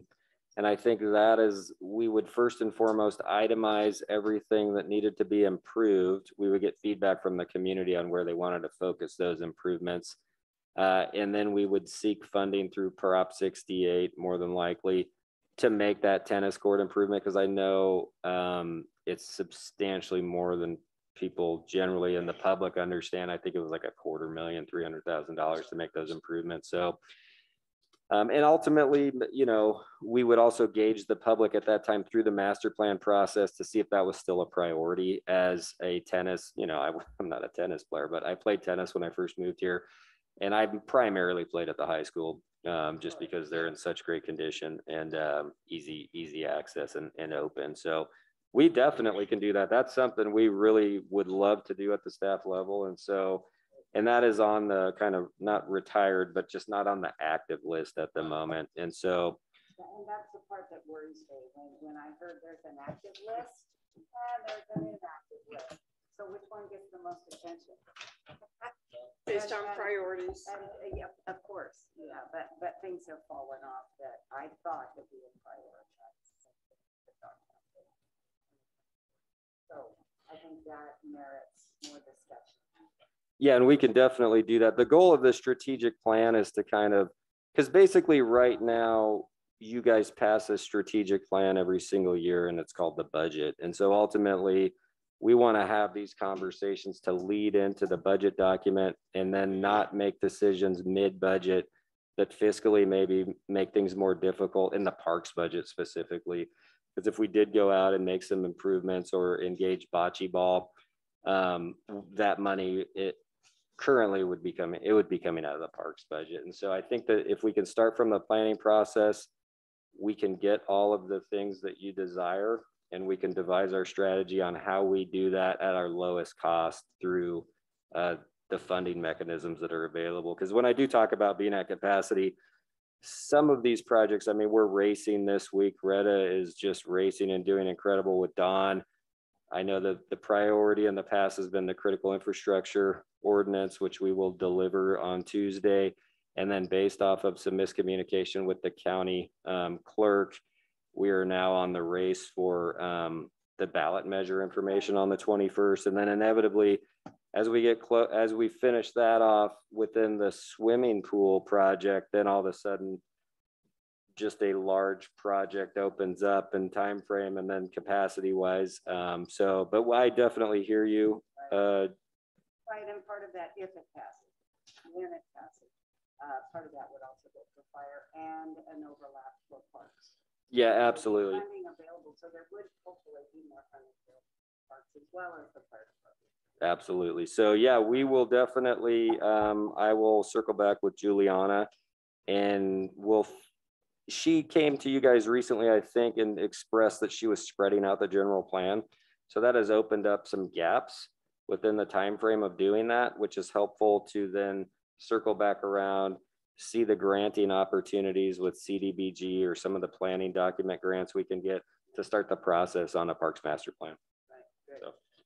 I think that is So, critical in the way how you would say that the parks master plan. Because it'll incorporate so much of this uh-huh. And then it's not dropping off, I guess, in a sense, it's not dropping off the other side. Some of these projects won't be. It's something we need to keep fresh in their minds so they don't forget, but that will be part of that plan. And that's what we gotta look at the overall view of that. So we don't want to fall off the other side. But Like you said, we, so many times have we seen things that have fallen off the other side. and A few of them have we benefited from, like, like I said, the community theater. The HVAC, yeah. benefited from it. have, But we don't want, that yeah. shouldn't happen every time. And so, yes, I agree. We need to keep on top of these things. It's not, it's not, you know, it's a matter of principle for the, what the citizens want, plain and simple. So, Yes, Mr. McCoy. Uh, Councilwoman Smith Freeman, did I hear you say, I want to, I want to make sure that I heard it. Did you put in the tennis courts in there? Yes. Okay, yes. good. I Actually, appreciate it. that was number one. Because I've been, I've been approached so much by that, and I honestly think that we can do that for between five hundred thousand and a million and a quarter. So it would be something that we could do after I've asked, que- I've asked questions around and I've talked to some of our local, oh, yeah. That's a lot. Oh, no, It will that's, be a lot, yeah, yeah. it's gonna be a lot. Have you been It's up gonna there? have to be taken back down to ground zero. It's, it's, yeah, It's it's, in bad it's, bad. Yeah, it's gonna have to be taken back to ground zero, But- but that's, but there that's, we is use a- it so much. There's a huge element of the community. Um, you remember when we packed this. I don't know if you guys were Oh, here. the tournaments every, every, all, It all summer. Money into the city for the tournament. Yeah. Um, I think it would be wonderful if we could do that. I saw one when I was down when my, uh, my, um, niece was in the hospital down in the Bay Area and they had beautiful tennis courts in their Mm-hmm. park down there and I took pictures of it and brought that back. Of course, that was like, you know, six or seven years ago too. But I definitely think that that's really important and that the tennis community said that they would be happy to help fund or raise money like for matching funds if we could get that. So I do think that there's a way to work. Oh, I think so too, that. yeah. It's a definite, uh, need. And that's really what we would be seeking through that planning process is community engagement and um, validating that decision that we would invest our time and or money into that improvement rather than pickleball or, or some other item that maybe we're not aware of within the community that people would prefer to see. So I think it's just a great idea that we, because we do have a lot of infrastructure that needs improvement over at Greenhorn. And so this document would basically give everyone an opportunity to prioritize that list within a master plan, which technically is the legal document on anything, any improvement we make technically should be in our master planning document. Uh, it validates that decision that we thought over a twenty-year term, we were gonna do X projects within that time frame. So And, and Mr. Ledbetter, um, for, just for my edification, um, the, the city master plan would include, the city master plan for parks would include parks, but it is not going to look at a park host. That, that's separate. That's something that you all do in there, right? Hiring and firing a park host. Yeah, and uh, we, w- I am, con- That, that's not something, that'd be like including the guy that, in- that picks up garbage at, on Saturdays, Fridays, or Saturdays and Sundays. I think we would take the Parks Master Plan and have community buildings in there as well, or facilities. So we'd be able to put the, um, uh, the theater into that document. All, of I, I think we'd be able to put City Hall into that document as well. So, Make sure that we have a park, park posted there when we, when we do do that, uh, park master plan, because we worked so many years on getting that position. I just don't want to lose it, so I don't think that we want control of it. What we want is to make certain that it's in the plan. Okay. Why would we want to, I mean, with all due respect, Councilman Smith Freeman, why do we want to dictate to the city manager and staff what's, what positions are hired and not hired? I mean, we can do that through closed session with the city manager. We can meet with the, with the city manager and say, you know, we want another policeman, we want another fireman, we want you to hire this person, we want you to hire a, but I mean, ultimately, i- i- I mean, I'm not saying take it away. I'm saying, I don't see it as, it's Well, not I- part of I a guess- master plan of, of parks within this city. Well, I, So I I think- think, uh, I just, sorry to chime in, but I think that maybe you touched on something there that's interesting, uh, Councilmember McCoy. Maybe in the next couple months, we can bring that position and kind of the description of that position and have a discussion within the closed session. And then, um, we, And we do it, can, yeah. we can go from there. So, I, I, I know that our, I will say this in open session, that our previous city manager said, to, made a comment to me, he said, I am probably in, I was in my second year, and he said, um, he said, I think that the park coast has got to be the most important thing to this council, and I said, I don't think so, and he goes, you spend the most time on it.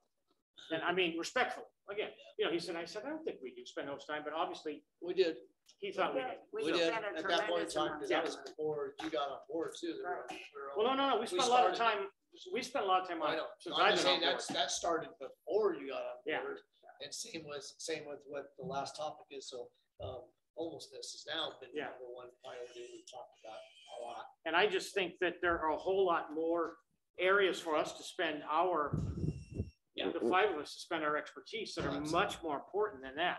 Absolutely. I mean, that, So, that's, Is there things, yes, you know, we need to move forward, Okay, so. I know, I, I can talk fast, I'm not gonna take up a bunch of time. Uh, about the tennis courts, if you'll talk to Grace Bennett, uh, she has a connection for the nanotechnology and they're always looking for projects to test that on. That's how she got her, uh, segment for the handicap area for the wheelchairs and stuff. And I'm pretty sure that was free, that was a grant. So nanotechnology, they've been experimenting with the product all over the United States to see how it uh, Yeah. responds to things. that would cut you way back, because then all you gotta pay for is the Right. excavation. Maybe the transportation. The excavation, Yeah. well, you gotta put in a base, you gotta, you gotta, you've got a base and everything. Right, yeah. right. Yeah. Okay, so that's an option and she has all That'd that great. information. Um, the other thing that wasn't discussed here, and I'm not saying add it, I'm saying it's worthy of a discussion is uh, income producing stream that we have, which are businesses, sales tax, retail, that kind of thing. Um, I didn't hear anything regarding business development and outreach, and I know we pay EDC to do that, but I really don't know if they, how they do it. You know, I, do they just wait for people to contact them or, well, I think that that's a, I think that you raise a good point because I think that that would be part of kind of a strategic goal come, you know, January that we would start to evaluate. Uh, cause the EDC is a vendor for us, you know, and I think that that Right. is something that we could save for another time, but ultimately, um, they should be a part of kind of when we put a document or a strategic plan together, we then should be focusing our engagement with them to fulfill our vision, because that's how we utilize pace engineering. So I think you raise a good point there. okay, I just want to know if you're doing outreach in other communities in the state, anything advertisement wise, wise across the United States, that kind of thing. And uh, the other thing was, because it takes so long to um, move the uh, city properties, the excess city properties through the system now, do we have any other properties that we're considering that I think we should consider That's to, um, hate to use the word, but unload so that we, we're not spending tax dollars out, that we're not using property with? I think part of the very first item you guys heard about tonight was the FHR program, and part of that was locally. The appraisal for DWR could not be met by the local appraisers for whatever reason, and so we had to eventually seek somebody who is, I believe, coming from San Francisco that we're negotiating with right now in order to do appraisals to buy the property for the flood hazard reduction. And so we are tying that particular appraiser to a contract where they can appraise our, all of our properties. Because that's step one is that we have to appraise them. Uh, and then ultimately that would be another kind of a project that we could work on where bring the entire list and map to a future meeting. Um, you know, I would advise if it were, you know, because I don't want to get too caught in the weeds, because I- and I do want to say this again, because I just want to make sure people are hearing it. Um, I personally am at capacity. And Oh, I guess I can tell you, if you are not impressed in the gallery today or sitting at the council based off of the information you heard, I will never impress you. And so this is a lot. Believe me, I've worked for two other agencies and I have never seen the amount of work and projects because this is just the project list. This is not the daily routine of what we do or the engagement with the public. But I do know that that is another item that I have heard multiple council members would like to see an evaluation of our properties. And I think with this appraiser, it would not be a heavy lift to eventually get that done and possibly squeeze it into this list that based off of getting that contract But it signed. sounds like you're already working on it, so thank you. So, well, thank you very much. And then if we can segue, because we have some people in the public here tonight that want to talk about the urban campground. And so I don't know if we want to give them the opportunity first or, Well, I think you need to go into what, um, we need to discuss what that means and then, um, to us, to us for one thing, so the urban campsite, like you said, we're doing the soil and there's hopefully get money for that to get the soil removed. we have gotten confirmation that the money is available. Uh, they have requested to know what development comes after the soil removal.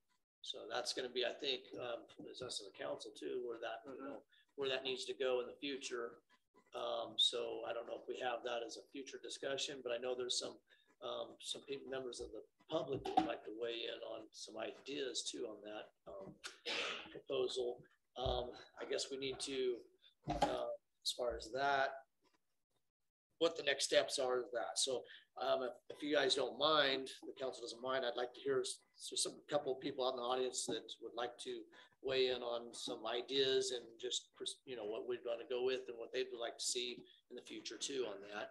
It's almost seven. So. that's, Let 'em- well, I don't need Go for interruption. yeah. So is that okay with the rest of the council? Yes, Yes. Okay. for me. Is All there right. some- I know there's a couple of members of the audience would like to talk on the direction of that. So I know we have a few folks here today that we're gonna kind of discuss or wanted to make some comment about the urban campground in any capacity. Yes, in any county. Uh, Yes, it's.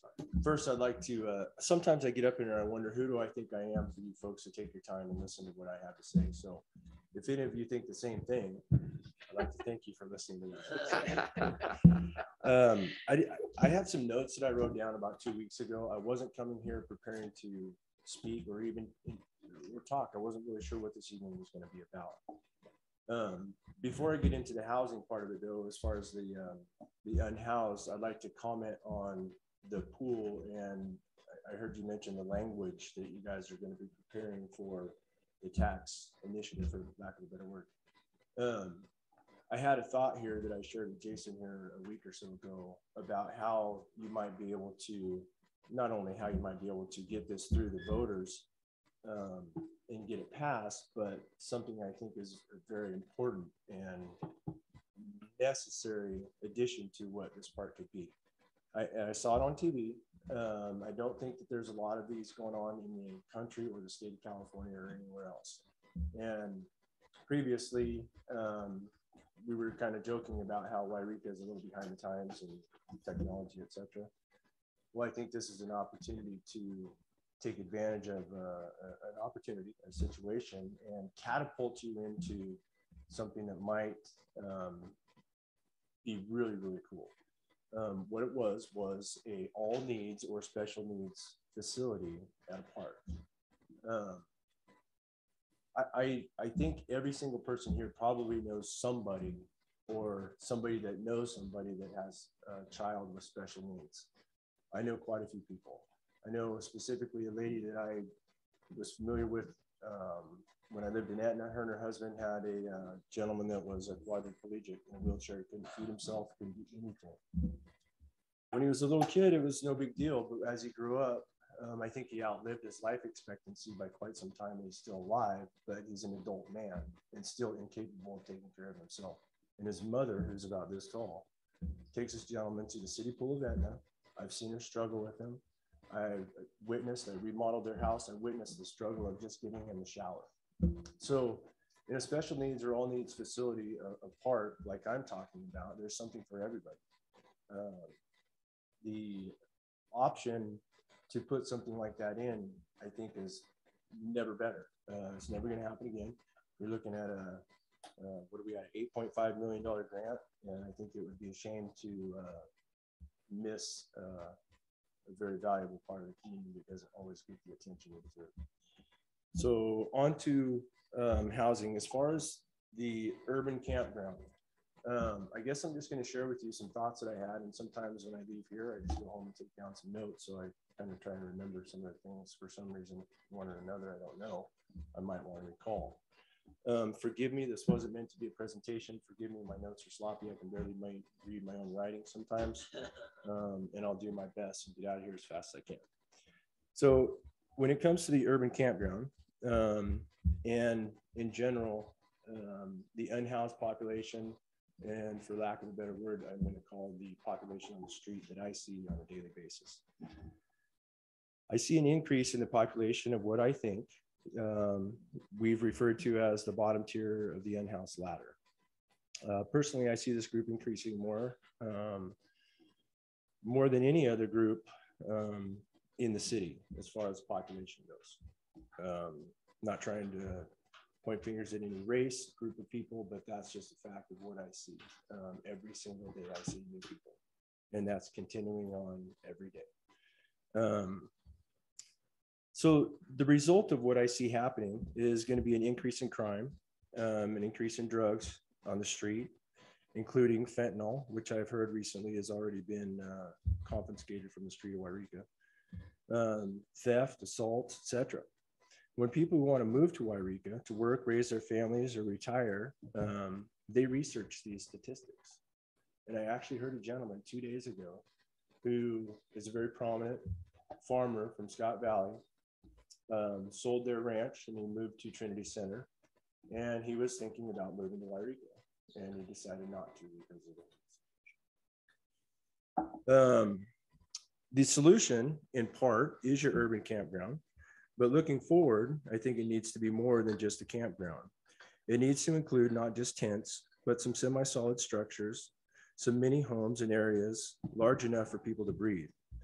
This property would include, say, up to 50 sites with a common area, a dining pavilion with regular meals provided, showers, which would be a start to a healthy uh, movement and just cleanliness of the folks that I see on the street not saying that they don't want to. I just, I, it's not available. Uh, I don't see very many showers on the corner where these folks could uh, seek that part of life.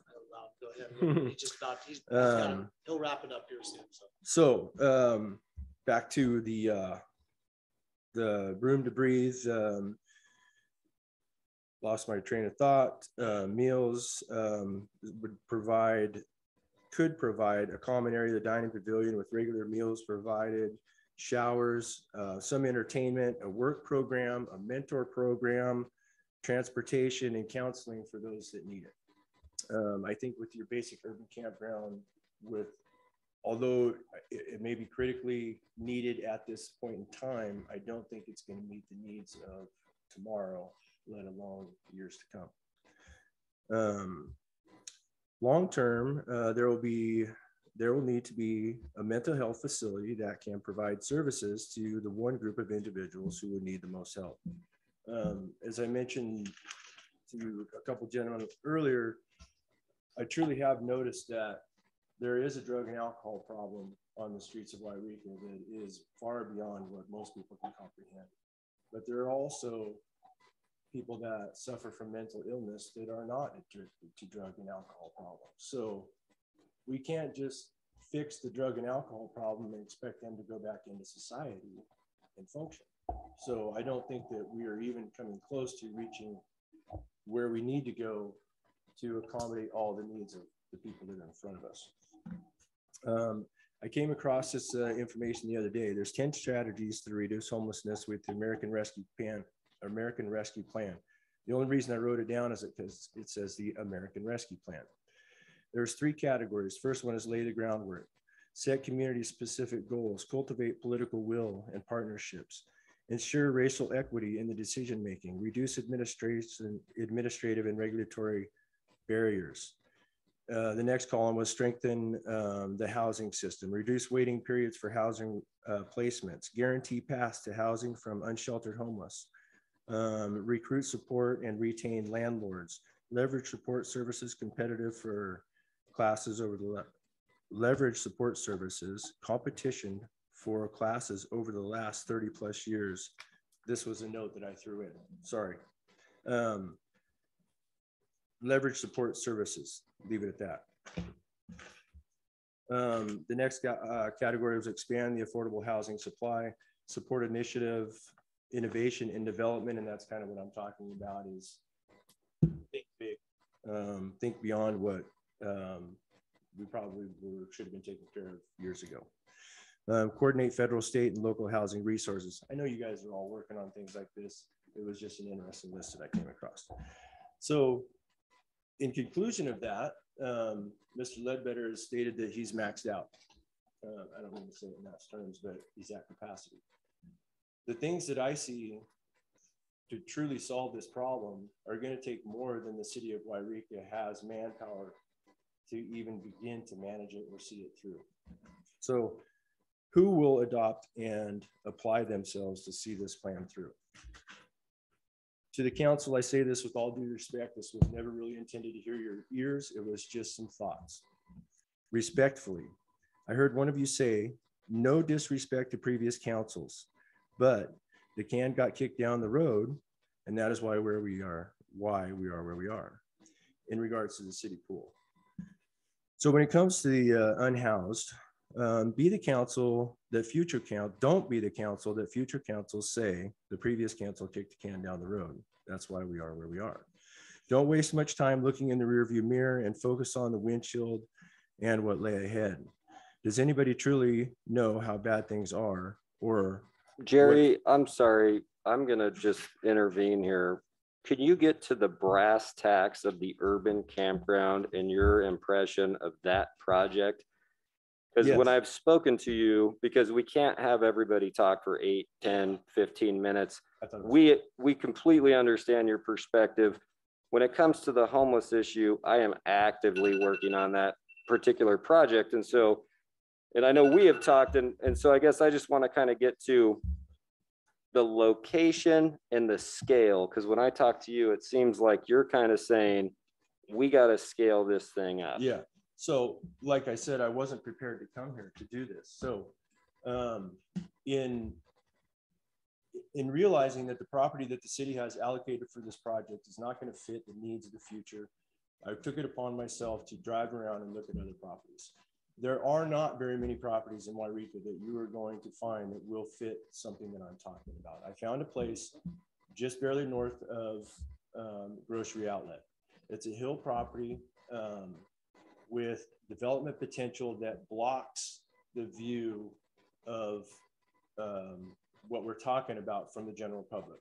You got a freeway on one side and a creek on the other side and the city sewer ponds on the other side. There's literally ways to block this development from the, the public eye or make it appealing to the public eye. Um, once a development goes into a place like this, that's big enough to house what we need now with room to grow into the future, there's one category of people that are not being addressed, and that's the mentally ill.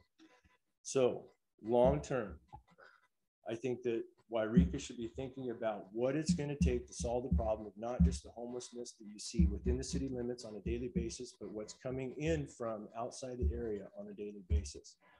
You're going to be flooded with things that we haven't seen yet the facility that I'm seeing handles the all of it from the people that are able to be rehabbed into a work program and then a long-term facility for um, people that have mental illness that will never be able to enter into society without care and medication. Um, is there anything else, Mr. Ledbetter?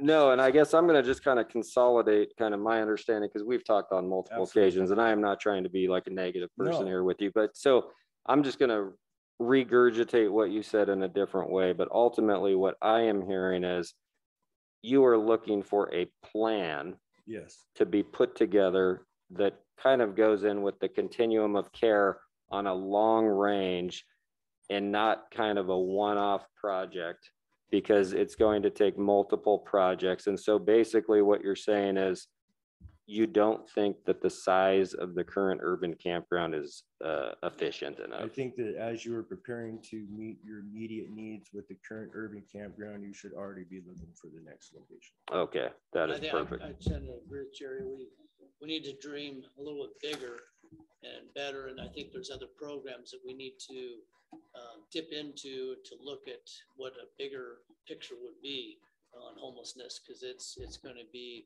something that's going to be ongoing for a while until um, the state and federal level starts putting money into it, what they, where they need to in mental health facilities and stuff like that. It's going to be a bigger battle. And what Jerry's leading to is that bigger picture. A bigger Yeah. picture for the, the, the part of the category that's really not getting touched right now. And that is the individuals that don't want that help, that are in an area that um, won't get that help. And that's what he's talking about is to hit the bigger picture on how we can address those. So basically what we're looking at is, and this is something we got to think of in the near future, how do we address that and where do we move forward with that? And when we're looking at the strategic planning, that is something that's maybe we're not looking big enough into and, and because it's other cities have started this process and have not taken it to a large enough level and they've paid the price for it because of that. You guys are in an opportunity to get ahead of that where most Exactly. others weren't. Exactly. And- We, he's yeah. trying, he's looking at it as preventing to prevention of what the other bigger cities are going through right now. Yeah. And we can, that's something we need to look into as a, as a council is how we can move forward with that. And I think that's kind of more sums it up. I don't think you're- you've had the severity of the problem that some of the bigger cities have, but I think you're gonna have it. it's And, and Mr. Stalker, so we'll, we'll be in touch because I'm going to include you with our conversations with Dr. Collard as we move forward to kind of draft the larger plan. Yeah. Because first and foremost, it comes down to uh, what money is available. Yeah. And so, and then an operator, but we've talked about this Yeah. ad- ad nauseum offline. Yeah. We will continue to do that, my friend. And so I will incorporate you into my next meeting with her. And it's not just about the money, about what's available now, but what you're gonna need down the road. Down the road, yep, absolutely. Thank you, Jerry. It's about a long-term plan. Yep. But I kind of want to veer back into the nuts and bolts of what the vision is, because I need c- to kind of better understand the urban campground and really seven o'clock. Wanted to get through this, get through the strategic planning side, but I do have some other folks in the audience that have talked to me and I think would like to possibly communicate their um, their feelings about the urban campground. So this would be the appropriate time if anybody else wants to come up and, and just make a statement. It's fine. If not, that's totally acceptable too, but please, uh, if you can, state your name where you're please. Absolutely. Thank you, Mr. Mayor, council members. My name is Jody Savies, and I am a Siskiyou County resident. I also have worked on South Foothill Drive for 22 years now. I work for the Siskiyou County Department of Agriculture, and I watched that area go from a safe place to work. We have buildings on both sides of the street, and to be a very safe place to work. And now it's not so much. We get a tremendous amount of foot traffic and other kinds of traffic um, from homeless and, and drug element, um, mental health individuals, not only down the street in between the buildings, but also the, um, what used to be the railroad yeah. and behind. That has become a huge thoroughfare. That is exactly where this encampment is um, going to be. Prior to the building going in next door to where this encampment is, it was opened up to homeless. And there were multiple tents put up and we watched a lot of activity, uh, not only drug activity, but also um, uh, activity that, that the public coming in and out of our office didn't like also. Oh, yes, many times. Not to mention um, using the street side as um, a restroom and those types of things. In the past five years, the break-ins and the amount of theft that's happened in our office has increased exponentially. And in the past couple of years, we have, and most recently in the past couple of months, we have needle issues constantly um, right at our doors. Our doors going into our facilities, our back doors going into our offices. And so with this encampment, we see or we are going to ask you who is going to be managing this encampment? How is the encampment going to be um, encompassed so that individuals that are currently uh, on drugs, alcohol, uh, mental health issues, how is that going to be managed so that people, the public, we have a lot of public that come to our offices, not to mention our staff that work there. And the and the theft, obviously you know that our budget is just as as impacted as everybody else's and to constantly have to figure out how we're going to replace things that have been stolen, vandalized, broken, cut, dismantled because they're trying to find um, money or things to sell. It has been difficult. So that's that's what that's what I'd like to to portray to you as to uh, I don't live on that street, but I spend most of my waking hours there, and and so do my coworkers. And we just wanted to let you know that. With that, um, when the pool project was first introduced, I was on board. I went to the meetings. I thought it was awesome. Until the location across the freeway was added as the location. And this is why. The, it, the central exit of I-5 is where children and families have to cross to get to the other side by foot, by bicycle, however. All summer long, sometimes later in the evenings, sometimes later in, um, it gets dark in November, that facility is still gonna be open. And at five o'clock, it's gonna be dark. I-5 is a human trafficking corridor. And we're gonna have kids back and forth right there through that corridor. That's a concern for me. Not to mention, right next door, there will be a new homeless encampment with um, people of, you know, that are taking drugs and or uh, mental health issues. And, and, and you have that nexus of children in that corridor. Plus, uh, what I'm hearing, and I don't know specifics, but the new swim facility is supposed to be open to everyone. There is not a, a fee or, or to that effect. Is that correct? Correct? That's the way the grant was written. I, okay. Okay.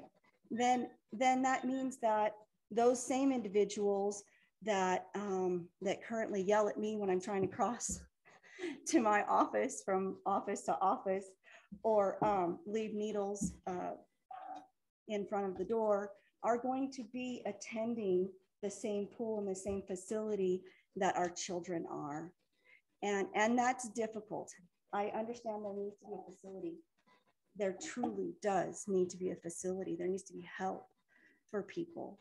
Um, and I really appreciate the work that you have put into creating a city and county nexus to deal with this situation.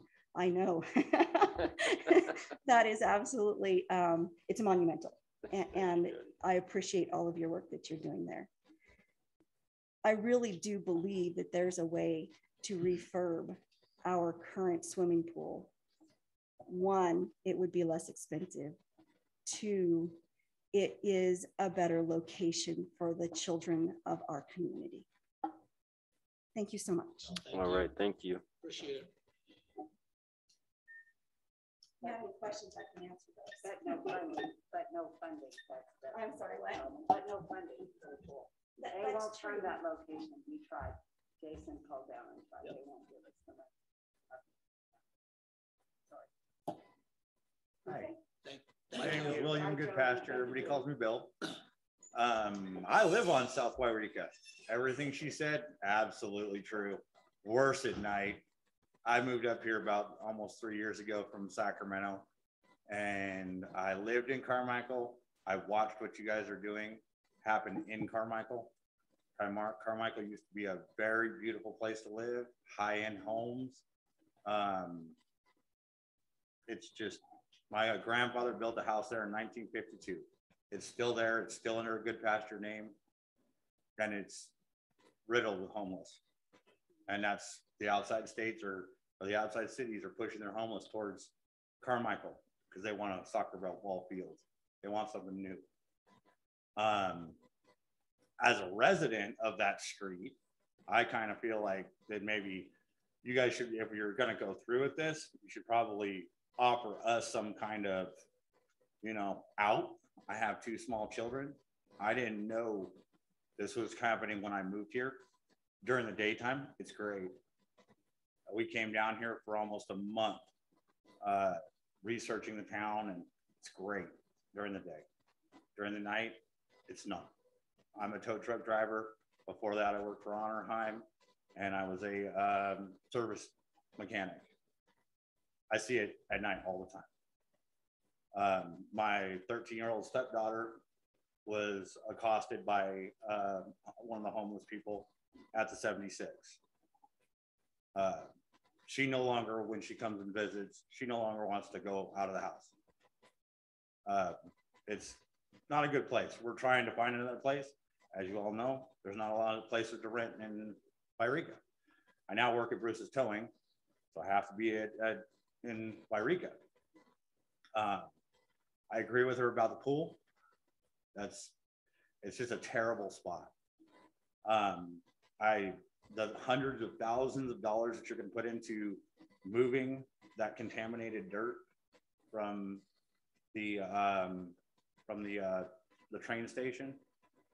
I, I just see it as a waste of money personally. Um, if there's no resources there for these people, I'm a firm believer in the people that want to get off the streets and they need the people with mental health and most definitely our veterans.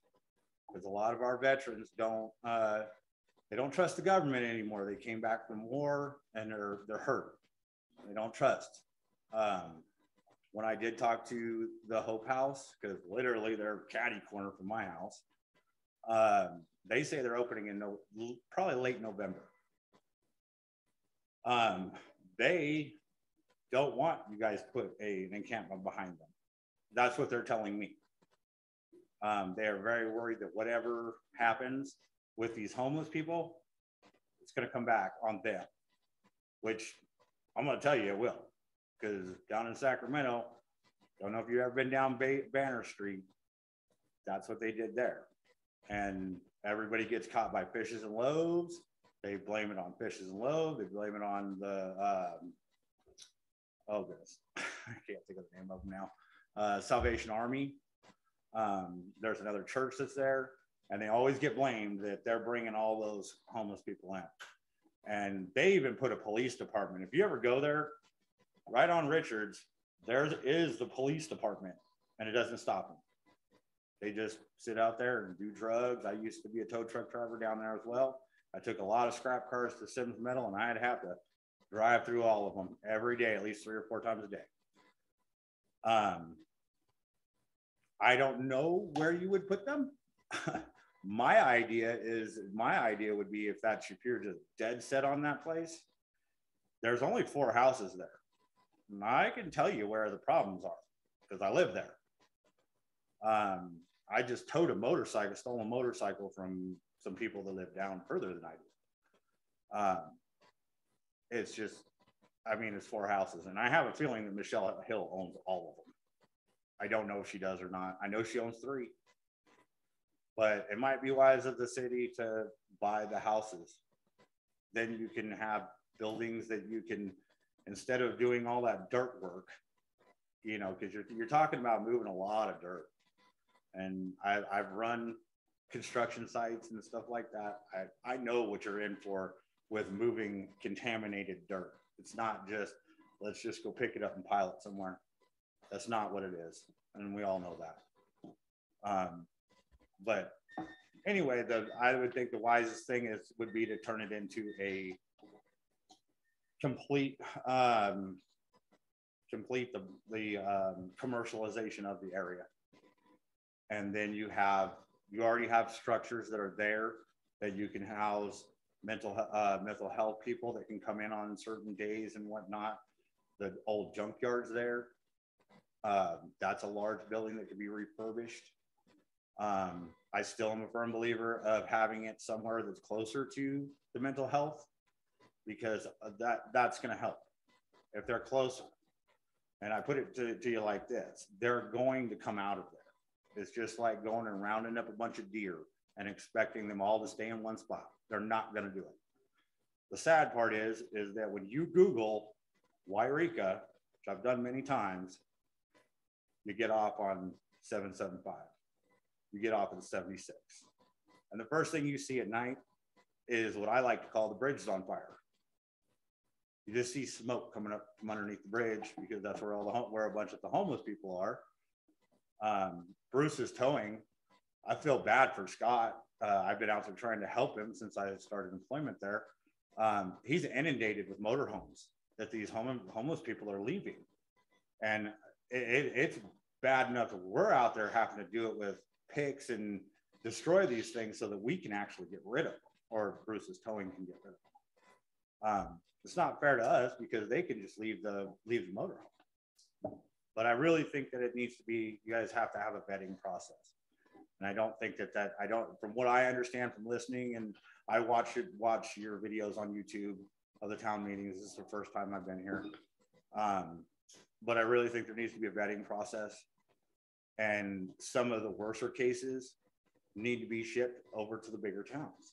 Uh, they they can go to there's a bus that can take them to to um, Redding, where they have better services for them. Um, Oregon, I can tell you right now, from some of the people that I, I I have met and came encounter with, I think they're all trying to migrate to Oregon because you know that's the new Amsterdam and you know they just get stuck here. So but a lot of them i also have my wife has a uh, brother that's homeless. He was stabbed six times. We brought him home healed him up. I looked at him. I said whatever you want to do man. What schooling do you want to go? You don't have to worry about living.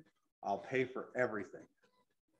Let's get you off your. This guy is a phenomenal welder. He can weld anything. We got him healed up. He went for a visit with his aunt in Woodland, California, and was gone. And he's back on the street.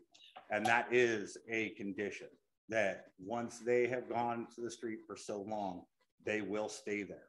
They don't know anything else. They don't know any better. And it is an illness that they have. And some of them just enjoy it that way. I hear about the guy that's up in the mountains that's got gold rocks. That's just, I got gold rocks. He's a happy dude. He comes down here, gets his groceries, goes back up the mountain. I'm totally cool with that guy. He can stay up there. Anyhow, um, that's where I'm at. I don't want to take too, too much time. I'm actually on call right now. But, um, anyhow, I think there should be a vetting process.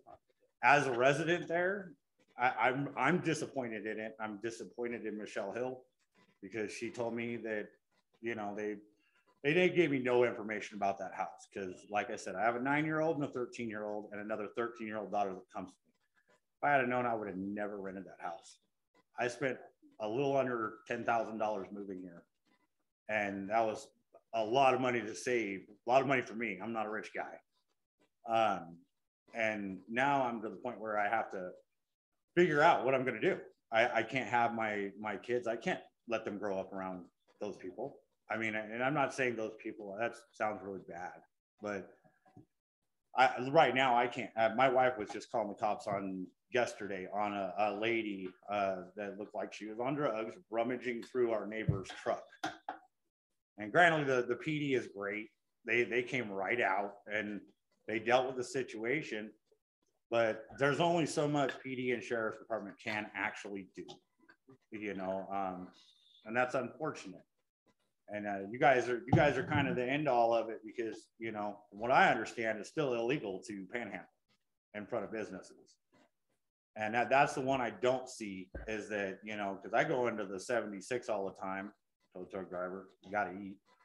And uh, there's always somebody out there. And I see the, the, the new 76 down there. I see them running them off constantly. There's a lady at the Valero, there's a really nice lady, and she stands out there when they're hanging out and she just shoos them on their way. It's, you can't stay here. You can't do this and uh, she gets cursed at, she gets yelled at, and the thing that, that a town is beautiful. The thing that I have a problem with is when you come into town. I was telling my wife this the other day. You come into town and you stop at the 76 or usually the 773 wherever where everything is. The first thing you, look is, oh, this is a really nice town. Yeah. Got any change? You know, and, and that's that's not a projection of That's- what we yeah, want to be. Because I would, other issue. Yeah. my wife is, her family's in the cloud. And uh, I wanted to make this my home. You know, I know I'm a, I'm a what they call a transplant, but, you know, I'm, I like small towns. I lived in Yerington, Nevada for five years and it was wonderful there. I loved it. And I had my choice, go back there or stay or come here. And my wife was like, I need to be next to my family. So here we are. Anyhow, I'm sorry that it took so long, No, but good. um, those are my concerns. I still think that the city should offer something towards the families that are there. Cause there, there, I think there's three of us now. Yeah. Um, offer something of, to us to help us get out and get away from these people. Um, the ones down at the very end, I don't know, they're probably totally happy with it. So I don't know if they are, but there's a lot of motorhomes down there. Yeah. No, it's definitely, So, well, thank, thank you for that input. You know, it's, there's a lot uh, that's to be said on that sort of thing. Cause there is a lot going on and we all need uh, input on that. Yes, Mr. I want to thank you for your idea of vetting because that is Yes. something that we've discussed of vetting people. And, and we have looked at the model that they have in Medford and the police vet them and they're not admitted into the homeless camp unless, unless the police vet them. Yep. Right. So there aren't, but I appreciate that. The other thing I would address is that the city, I, I believe the city council, probably the next four years, will address the, the idea of panhandling. Panhandling is legal in Yreka. Is it's- it? Yes, it's legal in most cities in California. I didn't know that. Yes. Hey, I, I, what I meant by when they call it pan, about pandering Mhm. is when you're doing it in front of a business. Pandering legally is a whole different thing. Right, right. Exactly. I I misspoke on that pandering. It's, The way- when you're doing it in front of. the way. Medford handled it, and I like it, I can't speak for my fellow councilmen and councilwomen, but what happens is they, they have a law. And if you pull up to a stop sign and you reach out of your window to give them something, you're the one that gets the ticket. Exactly. Right. And, and then And because that- you're not gonna get anything out of the person panhandling, but what it has done for the police department, what they have said, it's not, there's, there's no cure-all, but it has taken probably fifty percent or a little bit more of the people that would panhandle off the streets because they're not getting anything. So I think they're both, what you brought are, are great ideas, and I appreciate them. Thank you. And getting, problem at all. getting to the line of and that, I think it's worth us, uh, you know, I think we're all listening to you. getting, getting into lines of that, it's, it's, it's uh, Yeah. actually obstruction of, of traffic is what it is, is Right. what they, is what they emphasized on.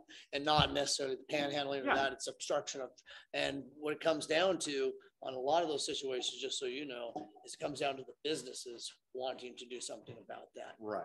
It doesn't come down to law enforcement. Law enforcement will, will enforce what the businesses will ask them to enforce.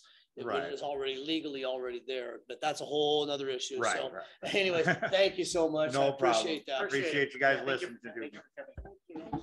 And I, I will just, um, make a suggestion depending on whether or not we have more public comment, but since we really fulfilled the goals of today for the purpose of the meeting, and I feel like I have direction at the moment for soil removal with DTSC at that specific site. Uh, I can seek clarification on the next steps at a future meeting while we go through that contract in order to, uh, we'll be back here on Tuesday for an actual city council meeting. And so I do want to stay functional. Obviously, we'll let Mr. Love here have his public comment, but my suggestion is, is that uh, we adjourn after that. Yes, please, thank you. Please. Lorenzo Love, Fourth Street. Um, yeah, this, uh, camp for the concentration of the homeless is just a token effort. Uh, this is just something so you can say you did something. It's gonna be totally ineffective. Uh, all right, another subject, the pool. What are you realistically going to get for eight and a half million dollars? It's not gonna be this, this Taj Mahal in the grant proposal. It's not gonna be anything remotely like that. You're gonna have something much smaller, much simpler. And what is the California Parks gonna do about that when you turn in this design for something not like the grant proposal, not remotely like the grant proposal? Are they gonna want their money back? I would. And even if you design something that's supposed to come in at eight point five million dollars, it's, it's gonna, there's gonna be overruns. It's gonna go over budget. If it's twenty-five percent over budget, that's two million dollars. Where, where are you gonna get two million dollars? Which one of these programs are you gonna cancel for that? Be realistic about how much this pool is gonna cost you how much it's gonna harm the city. Thank you, Mr. Love. All right, well then, this stage, I think we've pretty much hit all the topics and went over this. And like I said, it's obviously gonna be coming back on certain things, certain things, like you said, the dirt removal and some of these other things, we're obviously gonna readdress. And, uh, and then hopefully, um, the new council too, at that point too, on some of these, we'll be moving forward on some other issues too. So we'll probably make a partial new list at that point in time too, but I think we had some good input from the public too on some stuff, because it's, we do need to address these things and it's things that, uh, mean a lot to a lot of the citizens and, and as far as that goes, it's not over. Mr. Love, you're right. There's, we will need to address these, um, swimming pool issue on that because it's times have changed. Um, building cost of, has escalated, and so it's something that will have to be addressed. So Steel, fuel. fuel, everything has, and that's what that comes down with a lot of these things that we're gonna have to relook at and, and address as far as the urban campsite and maybe be something we have to look at and changing and doing something different on it too. So there's, there's a lot of issues that we're going to be readdressing and maybe looking at a bigger picture. So uh, thank you, everybody. Appreciate your input and we will be talking to everybody soon. Meeting adjourned. Thank you.